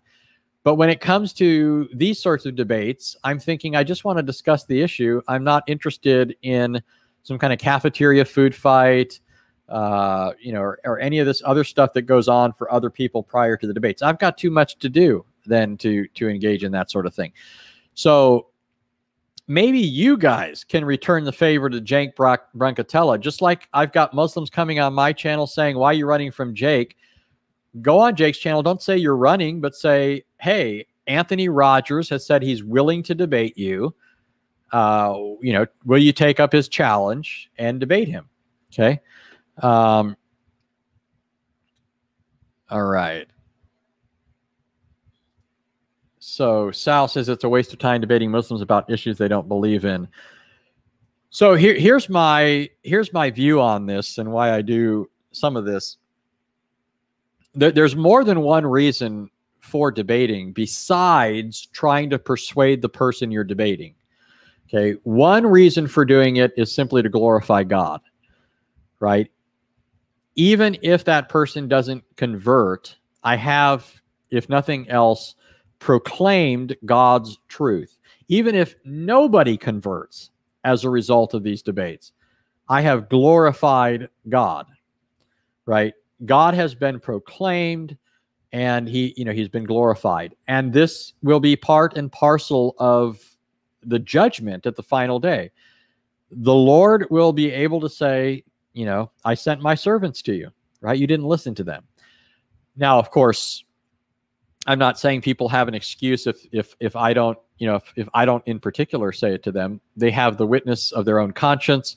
Uh, they've heard the gospel in other ways. Other other you know people and means have, have exposed them to the gospel in, in many cases, not in all cases but uh, it glorifies God, right? It glorifies God to proclaim his truth and to defend it. Secondly, it strengthens the faith of Christians. When they see God's truth being capably defended, and not just defended, but vindicated in public debate, it strengthens their faith. And it emboldens them, them then to live more heartily for Christ and also to witness to others. It gives them the confidence to do the sorts of things that Scripture calls us to do. Um, a third reason that I engage in these debates is because these people who are otherwise so overconfident in the truth of their position, the, the reason they, they run around, it's kind of like, well, going back to my boxing analogy, remember, I remember a long time ago, somebody kept saying they have a plan, they have a plan or something like that. Like they're going to beat up Tyson, they're going to beat up Tyson. And then P- Tyson says, everybody has a plan until they get punched in the nose. right? Everybody's got a plan about how they're going to beat this guy until they get punched in the nose. Well, these guys are so overconfident because they're either talking to their own fan base or they're finding people who aren't familiar with at least their particular angle. And you know they're they're they're picking off low hanging fruit. Okay this it's just like again a fighter picking uh, opponents that uh, he knows he can beat right? Um, so when you engage somebody that has that kind of overconfidence and you take the wind out of their sails, they're not as likely, or certainly not as zealously or confidently going to, uh, you know, prattle on in the future, unless they just have a completely seared conscience. But you know, if if you effectively, you know, take the wind out of their sails, if you uh, show them that their confidence is misplaced, then they should, they should, and in some cases will, not be quick to enter the fray again. And so I will have, if I am successful, I will have uh, protected other people by doing this because at least now maybe this person won't be quick to turn around and say these sorts of things to somebody else. All right. So th- those are some of the things um, that that I'm thinking about when I debate. Now, I do also hope that the person I'm debating will see the truth of what I'm saying and believe. But you know, I'm I I, I realize there there are many reasons to do a debate, and it's not just so that person can be divert uh, converted. Um, and the you know the other thing is you, you never know like e- even in a debate you never know what's going to stick with that person and when it might become relevant to them right? Maybe down the road. In fact i know stories of people who grew up in a christian context their parents read the scriptures to them their parents taught them to read scripture to memorize scripture to meditate on scripture and these children grew up but didn't have faith. They never really repented and believed. But uh, there are occasions when these people will will tell you that at some point a verse of scripture that they read in their childhood suddenly flooded back into their memory in some particular context and as a result of that they were converted right? So let's just say hypothetically, there have been numerous verses that people point to on this, but just take John 3:16. Suppose a child in his reading of scripture reads across that. It's one of the texts he's memorized. Uh, he, he has been taught by his parents to to dwell upon it and so forth. But as he grows up, these things never really took hold in his heart, and he doesn't exercise faith in Christ. But later in life, as he's going about and he finds himself in some difficult circumstances that makes him mindful or aware of God and of the fact of future judgment, the fact of his coming death, these sorts of things. The reality of death, the reality of his sin, the reality of God's justice, these things start to weigh upon him. And in that context, he remembers a verse of scripture like John 3:16. God so loved the world that he gave his only begotten son that whoever believes in him or the ones believing in him will not perish but have everlasting life. I know accounts of people that can say they were converted because of something they heard in their childhood. I even I even know a story. There's a famous uh, Puritan preacher who was a very studied theologian, but he wasn't converted. Okay, he was a studied theologian. The man knew scripture backwards and forwards, but he wasn't converted. One day he was preaching to his congregation, and he said, while he was preaching, the truth of the word pierced his heart, And it was like the gates of heaven were open to him and he believed and repented and so forth. So apparently, prior to that, he had been a hypocrite, right? But at this point, the word of God pierced his soul. And so, you know, I think when I'm when I'm talking to these people in debate, maybe they're not going to convert during that debate. Maybe they won't a week later, a month later, a year later, five years later. But maybe something I've said will eventually pierce through. You know, God will cause his arrows to pierce their heart and and bring them to faith. Um, all right, so Arabian Prince says, What happens to innocent Muslims on Judgment Day? By innocent, I mean they were brainwashed by Muhammad, hence God knew this would happen. So I'm glad you qualified innocent, but uh, even that, though, uh, we, we have to we have to go to a text like Romans 1, which actually deals with this, right? Romans 1 tells us, in fact, let me go there. Let me share my screen.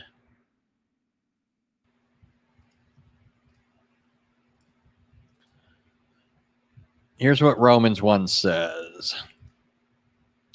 Now, I want to say going into this, because it isn't apparently said often enough, and a lot of people are confused. Jake Brancatella is confused. Uh, a lot of people will read this text of scripture as a description of what's called natural theology. Okay. This text in Romans 1:18 is not talking about natural theology. Okay. What is natural theology?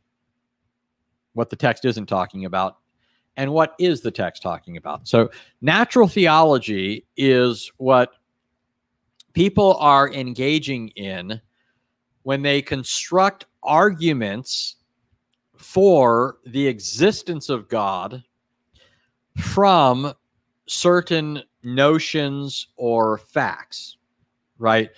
So, for example, take the cosmological argument. There are different versions of the cosmological argument. So don't take this as a, a description of all of these. I, I recognize that there are there are various forms of arguments for God's existence based on the causal notion. Okay, and those are called cosmological arguments. But a basic form of the cosmological argument is that everything has a cause, or more sophisticated forms would say everything that exists or begins to exist has a cause. The universe began to exist Therefore, the universe has a cause. Okay, this is an example of what's called natural theology. Okay, that's discovering certain premises, seeing them in relation to each other, and then drawing out the conclusion from those premises. Right, so you have these principles like the causal notion, uh, the idea that everything that begins to exist has a cause, so you establish these premises, and from them you derive the conclusion that there is a cause. And of course, in the context of these arguments, the idea is that the cause is God. Okay. Now, I'm not arguing for or against that sort of thing. Okay. Then there are also other kinds of arguments. There's the teleological argument, which are arguments from design. There's the ontological argument, which is an argument uh, for God's existence based on the idea of the existence of, of a, a great being or the greatest of all beings, right? Uh, Anselm is supposed to have been the progenitor of this. Some would say Augustine, but there are different versions of this, just like there are different versions of the cosmological argument.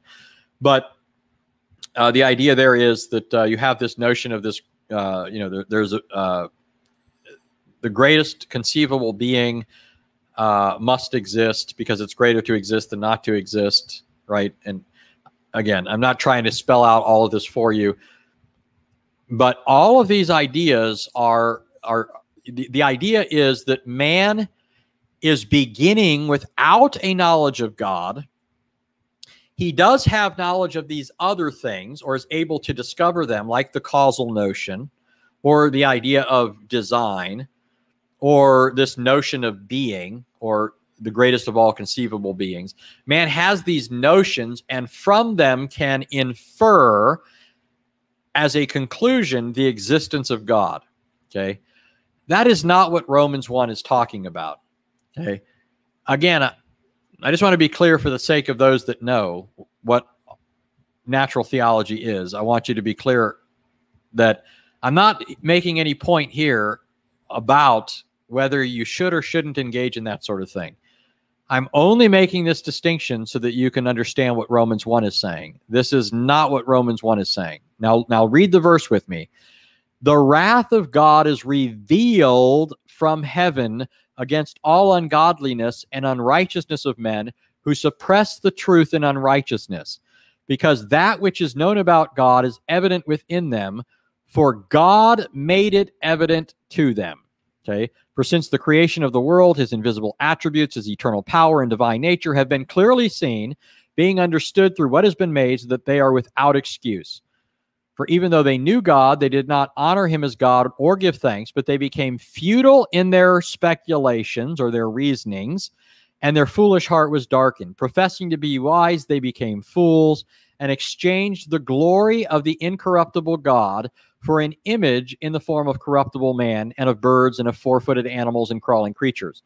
And then it goes on to talk about God giving them up to the lusts of their hearts, to impurity and so forth, because they exchanged the truth about God. Because they exchanged the truth about God, God gave them over to exchanging the natural desire uh, of men for women and women for men. Uh, they gave them over to exchanging their natural desire uh, for the opposite sex to a desire for the same sex. That's God's judgment on those who, uh, um, uh, one of his judgments. Paul's not being exhaustive here.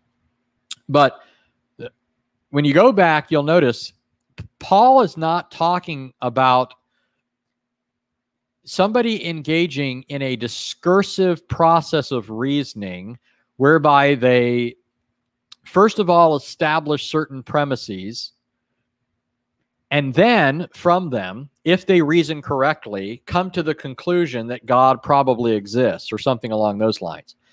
Paul's not talking about natural theology, he's talking about general revelation. He's not talking about man discovering God, he's talking about God revealing himself to man. Okay, that's decidedly different than what's going on in natural theology. Natural theology is man's efforts to arrive at truth about God through a process of discursive reasoning, right? Premise one, premise two, conclusion, you know, sub premise, all that kind of stuff. Paul is talking about what God has done. God has revealed, right? The wrath of God is revealed, okay, actively. God is the one doing this. God has revealed or the wrath of God is revealed from heaven against all ungodliness and, and righteousness of men who suppress the truth and unrighteousness, because that which is known about God is evident within them, for God made it evident to them. God has revealed himself to all men, he has made it evident to them. And then it goes on to say, For since the creation of the world, his invisible attributes, his eternal power and divine nature have been clearly seen, being understood through what's been made. So creation is the medium of this revelation. But the fact is, God has revealed himself and he's revealed himself through creation to all men. And notice Paul says, so that they are without excuse. Okay. He doesn't say merely that they should have concluded with all probability that God exists. He says they have no excuse. Okay. They are completely without excuse for not believing in God. Moreover, notice that Paul, when he talks about natural theology here, if you want to call it that. It's a natural atheology. What is it? How is it that men are responding to this revelation of God? General revelation has come to men, leaving them without excuse. And what is it that men are doing? What does Paul think of this natural theology? Here's what men are doing by nature they are suppressing the truth in unrighteousness. That's what human beings are doing in response to God's revelation, okay, his general revelation. And then it goes on. It says, even though they knew God, they did not honor him as God or give thanks, but became futile in their speculations, right? And then he goes on uh, to talk about uh, uh, them becoming fools and so forth. So man is not presented as uh, rightly reasoning upon propositions that he discovered or facts that he's discovered, man is portrayed as suppressing clearly revealed knowledge given to him about God. Now, there's one other point that I want to make. In Romans 1, in uh, verse 21, right here, it says, For even though they knew God, in Greek, it's uh, uh, gnontes ton theon, knowing the God. Okay, he uses the it's articular there. And and what Paul is driving at, following the grammar, is not merely that people have the no, uh, the notion of a deity, some kind of a god, a god, you know, God in general, which is what the arguments from natural theology are intended to establish. They're just trying to establish that there's a God of some sort, whatever that God might be.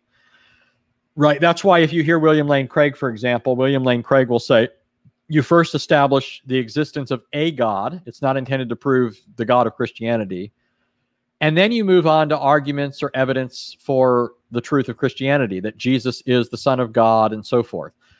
So he says there's basically a two step procedure. First, arguments for the existence of a God, and then a second step where you're arguing specifically for the truth of Christianity as the as the uh, uh, specific content of you know who that God is and so forth. But again, Paul is talking here not about natural theology. He's talking about general revelation. And Paul says through general revelation, people know not simply a God, that there is a God, you know, some sort of heavenly whatchamacallit, you know, like heavenly tapioca or something. Paul says they knew the God. It's the true God that all men know through his revelation in nature. And by the way, Paul doesn't only say that God has made himself to men through the world around about us, but also through man's internal constitution. Okay, in Romans chapter 2, Paul says that people uh, uh, you know that God has revealed himself his standards of conduct to men through their conscience. So both external to man and internal to man is this knowledge of God in terms of which they know him, they know themselves as his image bearers, they know themselves as obligated to him, as responsible to give him thanks and so forth, but they suppress the truth in unrighteousness. And so how does this all relate to the original question? What happens to Muslims who have been brainwashed? According to Romans 1, every Muslim, now it's funny, Muslims have this concept too, by the way, but it's it's very distorted and weird. Okay.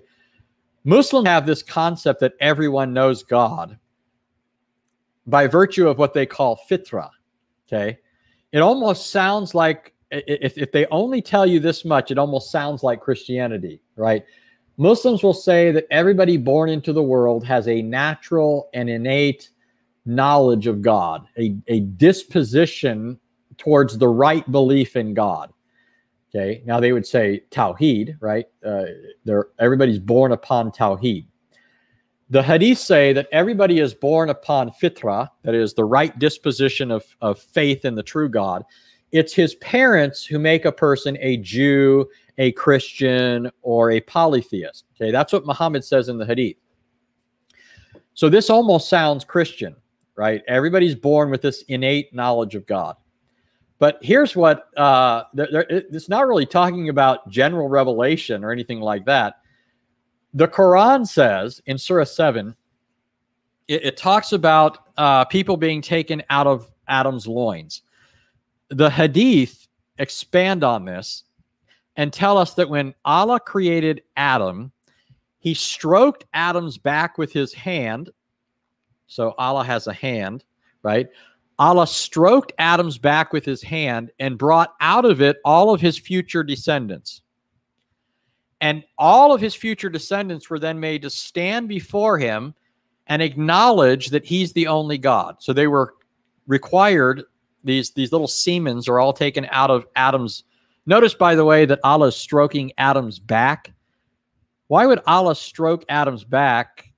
You know, first of all, it assumes he has a hand, but Why would he stroke Adam's back in order to bring out Adam's future progeny? Why would that be the means of Allah extracting from Adam's loins his seed? Think about it, folks. What's one of those marvelous scientific mistakes found in the Quran?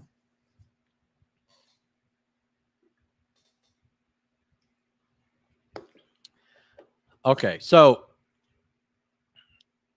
the the Quran teaches that semen proceeds from between the backbone and the ribs. Okay. That's what the Quran says. So, understandably, then, when the Hadith talks about Allah taking out Adam's future descendants, it speaks of Allah stroking Adam's back. ah. I'm telling you, you can't make this stuff up, folks. I mean, you have to be a seventh century Arab to get this uh, this stuff. But um, so Allah strokes Adam's back and causes everybody to stand before him. And that's why everybody, uh, uh, well, so then Allah places them all back inside of Adam. So when people are eventually born into the world, they've already had this sort of immediate encounter with Allah. And so everybody, okay, setting aside the word, the weird Adam backstroking thing and all of that, Muslims will grant that everybody comes into the world knowing God, knowing the true God. We maintain that the true God is Jehovah. They maintain that the true God is Allah.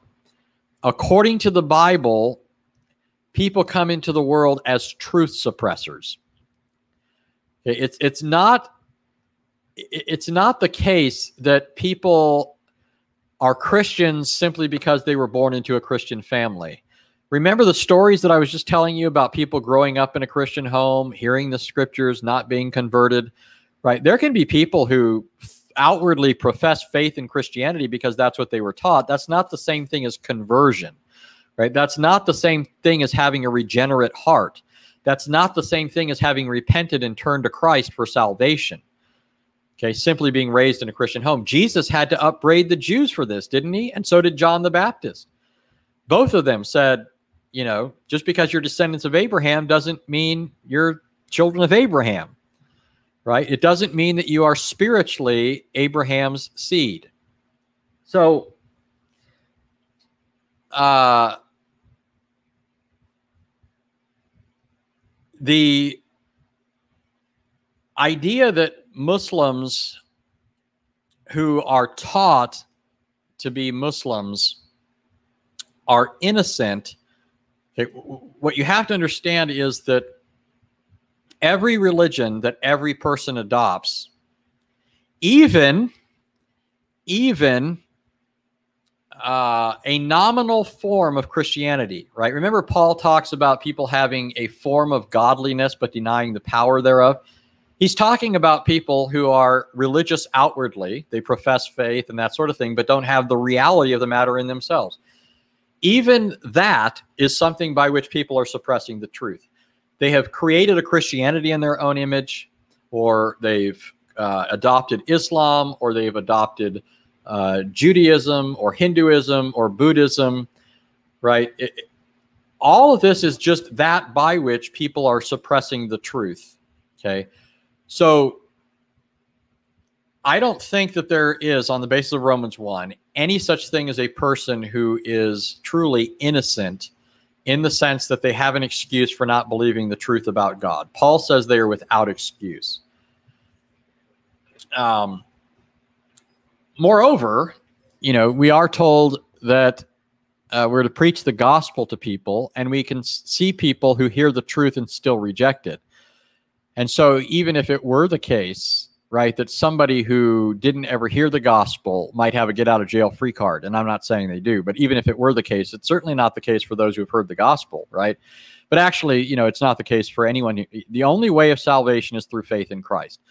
Okay, that's crystal clear in scripture. Jesus in John 14, 6 says, I am the way, the truth, and the life. No one comes to the Father but by me. Peter in Acts chapter 4, verse 12 says, There's no other name given under heaven by which we must be saved. He's talking about the name of the Lord Jesus Christ. Paul says in Romans 10, All who call upon the name of the Lord shall be saved. Right? Over and over again, it's clear the only way of salvation is through faith in Christ. Um, oh yeah, Truth Defender said he hadn't thought about Allah uh, in his uh, uh, being the first masseuse in history, right? Uh, do you say masseuse or masseur? I, I can't remember what it is in the case of a male. Anyways, um, yeah, Allah was the first, gave the first back rub. Uh, he stroked Adam's back because Allah thinks that's where you find semen. uh, um, all right. What time is it? It's 12 o'clock. I'll see if there's a couple more questions. Um, so Bine says Mufti Abu Layth is so funny. His laugh is amazing. You know, his laugh is incredible. Um, but I noticed that Mufti Abu Layth hasn't been doing his live, uh, his his Monday nights with with Mufti since the scoundrels broke into his home and terrorized his wife and daughters, you know, breaking into his house and everything. So I don't know what his plan is. I think it's a shame that I mean, I, you know, he he has to make whatever decision he makes, but I think it's a shame. He had he had a good Monday night show. He was uh he's still wrong. He's a Muslim, he needs Christ, but uh he seemed like he had some humanity to him that seems to be missing with some of these other people. Not because I think they don't really bear the image of God, but because I think their religion causes them to, uh, you know, suppress things to a degree that is, you know, when when when people suppress things, they can suppress things to a greater or lesser degree, right? And I think that Islam is a religion that you know, leads people to greater forms of truth suppression than you find in some other uh, religious, you know, groups. You know, so uh, you know when you can when you can get a Muslim who, with good conscience, can go out there and you know slash the face of somebody like Hatun Tash, right? And the guy was probably really going for her neck, all because she is speaking against Islam or wearing a shirt uh, uh, that has a picture of a depiction of Muhammad on it, when you can have a person who's willing to do that in good conscience, right? It's because that person has adopted Islam and is engaging in a form of truth suppression that goes well beyond what you find in in many other religions that I would also disagree with, right? Um,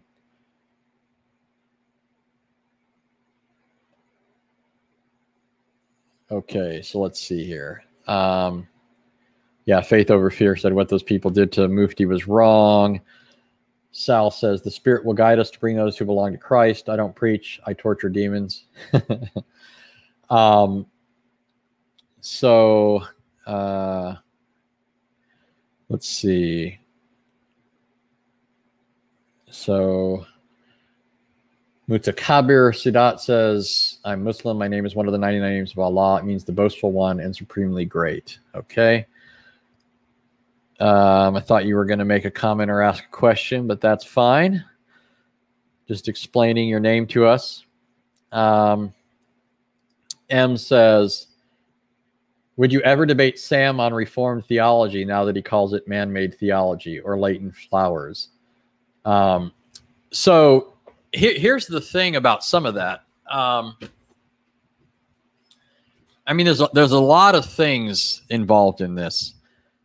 I know people always think this, right? Because uh, because of various reasons, but I was actually asked to debate Leighton Flowers. Marlon Wilson asked me, and I don't think what Leighton Flowers asked Marlon to ask me. I think Marlon Wilson was just trying to organize a debate. Um, and I said, you know, I got to be honest, I've never really listened to Leighton Flowers. And in order for me, even if I'm familiar with the theological issues, I still want to know the particular individual that I would be engaging. Because, I mean, again, I keep using these fighting analogies. When fighters go into a ring, they always study their opponents, right?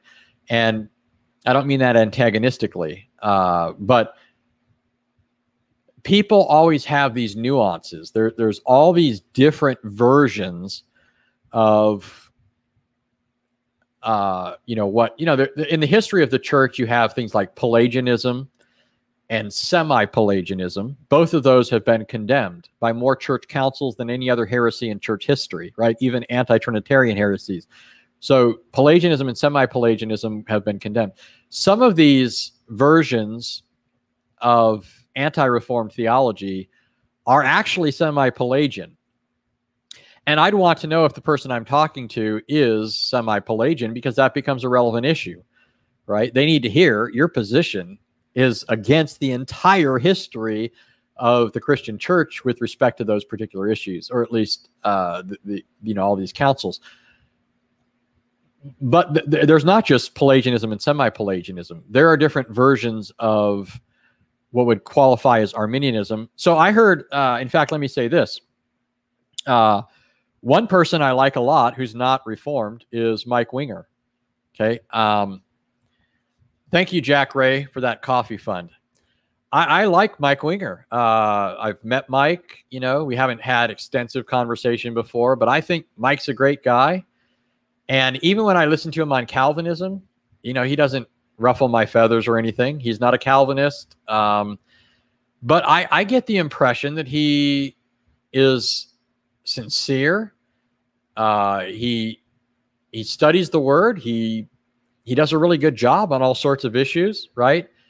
Um, and so, uh, but I was surprised. The reason I'm bringing this up is because I was surprised when he, he said one day. I heard him say, he doesn't believe in prevenient grace. Now, let me explain that to you. Oops. Um, even though Arminians, like classic, like Wesleyan Arminians, are not Calvinistic, one of the reasons they were still considered evangelical. Okay, here, here, let me explain. The word evangel means gospel. An evangelical is one then who believes in the gospel. And this was a alternative way of referring to Protestants, those who come out of the Reformation.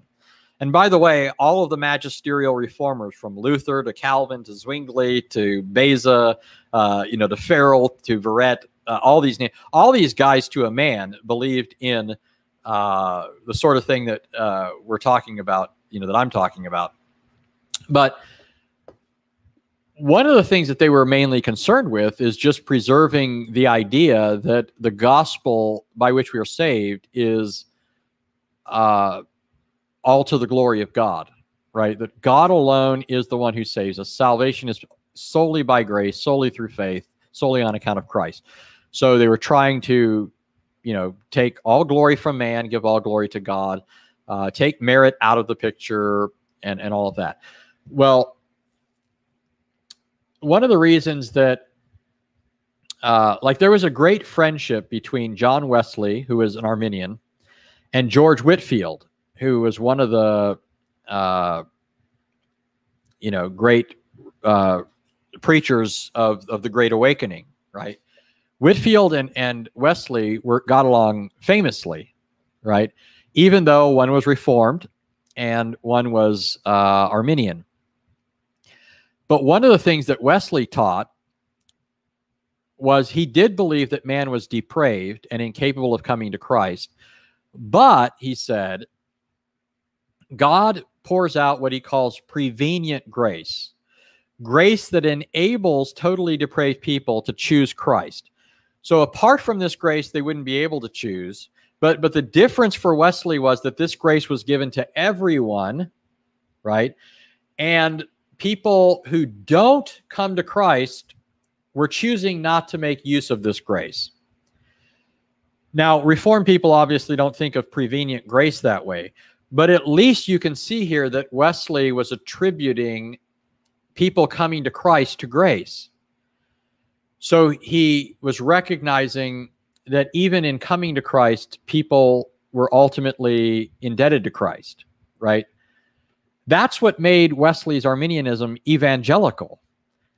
That's what made it the case that Whitefield and Wesley, that's one of the reasons that made them, you know, so amicable towards each other. Because Whitefield was anxious to preserve the graciousness of the gospel, and Wesley was arguing for this notion of prevenient grace, which says that man is is depraved, incapable of coming to Christ, but God in his graciousness has given grace to all men, enabling them to come to Christ. So what I was surprised about with Mike Winger was I assumed, I assumed for a long time that Mike Winger be- believed in prevenient grace. And I was shocked hearing him the other day saying he doesn't believe in prevenient grace. And I thought, my lens, uh, you know, that's that's that's shocking to me, right? Um, but in any case, uh, so uh, I know I was answering a, a, a different question here, but um, I bring that up because if I were to do a debate with somebody like Leighton Flowers, I'd want to spend time finding out what his particular positions are on a variety of issues. And and part of the problem with doing that is I'm so focused on so many other things, right? I, I have more zeal to debate anti-Trinitarians, to debate people who oppose the God of Scripture, the Christ of Scripture, the life, death, burial, and resurrection of Christ, the necessity of faith and repentance, that sort of thing. I have much greater zeal spending my time engaging people of that stripe who are clearly on the other side of the Christian non Christian divide than I do debating people who make some profession of faith in Christ. Now, when it comes to Sam in particular, one of the things you guys have to understand is that Sam and I go way back. Uh, you know, I love Sam to pieces. So I don't hear all of Sam's anti reformed and anti Calvinist stuff. Usually I skip those broadcasts, right? But Sam knows I love him to pieces. Uh, you know, I, I was reading stuff from Sam back in the late 90s, right? And I was a co author with Sam, David, other people on Answering Islam for, I don't know, um, I, I, can't remember when I first started writing for Answering Islam. It goes back um, about 15 years or so. I don't know. Um, and of course, we've, uh, you know, done numerous things together. So,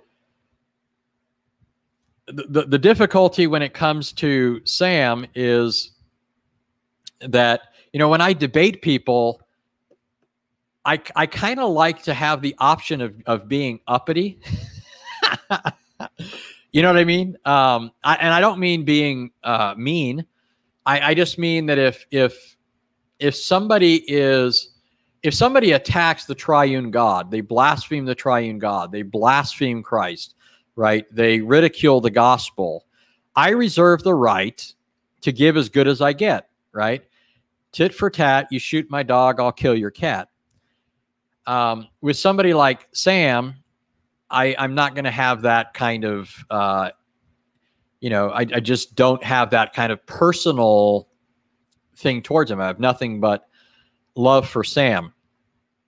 Now I know that Sam, because Sam says, so I'm just I'm just quoting Sam here.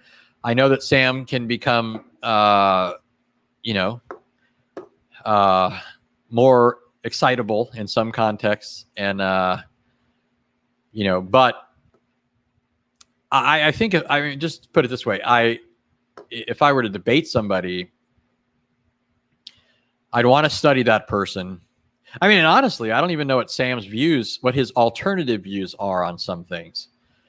Right? I know that he's forsaken uh, classical Protestant orthodoxy, but I don't know there, there's numerous versions that this can take, right? Uh, and I honestly don't know what the alternatives are that he's staked out on these these different issues.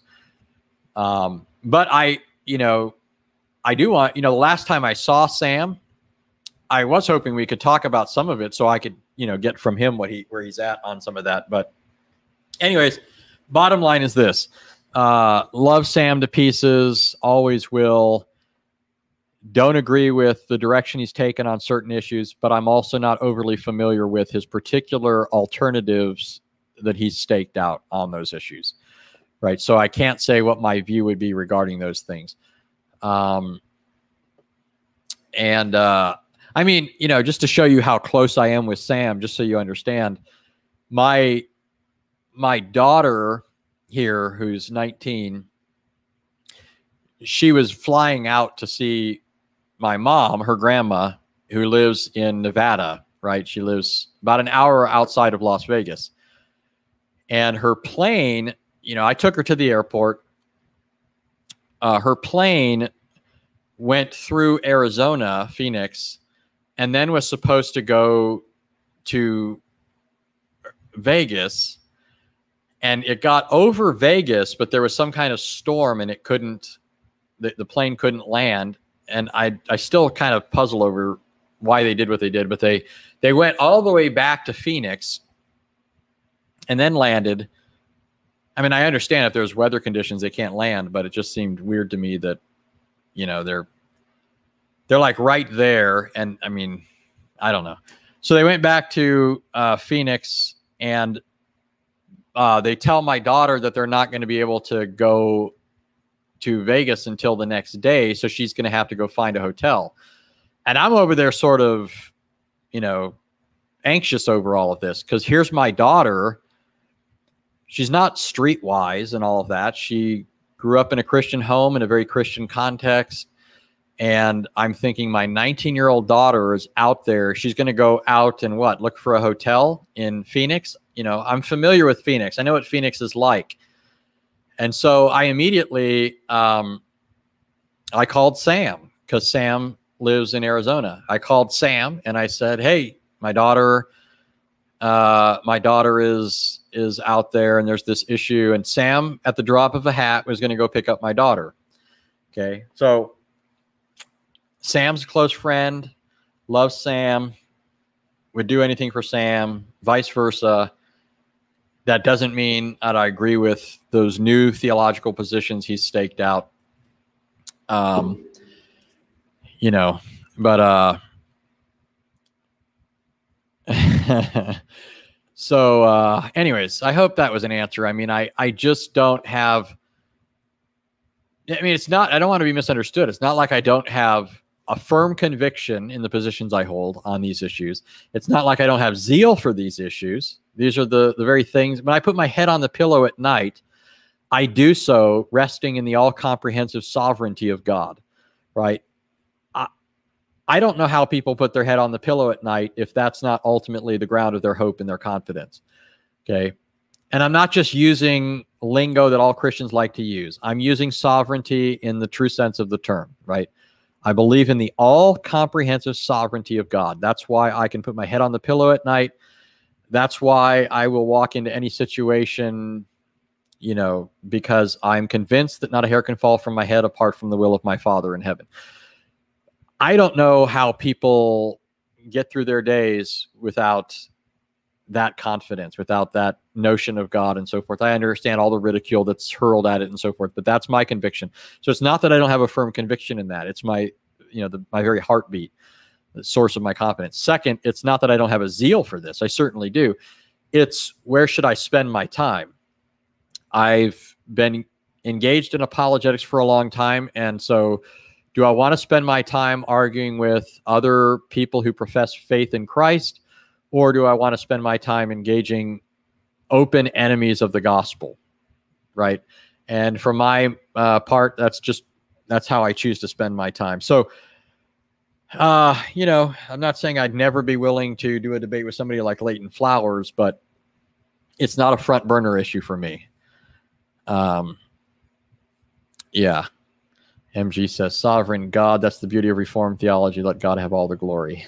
all right, folks. So if there is no further question, let me thank all. Uh, actually, I did see Arabian Prince. Thank you so much for your support. I really, really appreciate it. I'm sorry I didn't put that on the screen. And uh, thank you, Raymond. Thank you so much. Uh, oh, you got good news today. I'm I'm going to assume you're going to Facebook me the the good news. So I don't know if Raymond wants me spouting out the issue that I'm hoping the good news relates to. Uh, so I won't say anything. But uh, if it's if it's good if it's the good news I'm thinking of, folks, then it's really good news, and you should all rejoice with him. Um, but I'm hoping you're going to message me on Facebook and tell me what that good news is. Uh, but here here it is. Thank you, Arabian Prince, for that support. I really appreciate it. You guys help me do what I do. Um, all right, folks, I'm going to conclude with that. I hope this was a blessing to you. More to come on Mark 1 4 through 8. We need to talk about John the Baptist. We need to talk about that whole business of John's baptism being a baptism of repentance for the forgiveness of sins, but Christ's baptism being a baptism with the Holy Spirit. Uh, we need to talk about uh, all sorts of things related to that. Uh, a lot of great stuff to come. Today, as a summary, uh, the Old Testament speaks of God as a warrior. God is portrayed as a warrior who do, does battle against the enemies of his people. He helps them. He's the source of their strength when they're in battle. He also goes out before them and engages the battle. Um, but God is also the one who battles their spiritual enemies. He's the one who ultimately uh, engages uh, the foe, defeats the tempter uh, at the time of the Exodus, and ultimately at the cross. So Jesus is being portrayed in the New Testament as the divine warrior the strong man, the mighty God who has come to bind Satan. He is the stronger one who is able to bind the strong man. Uh, and thank you, Binet, uh, for that uh, as well. Thank you so much. All right. God bless you, folks. Have a great evening. I'll see you next time, Lord willing.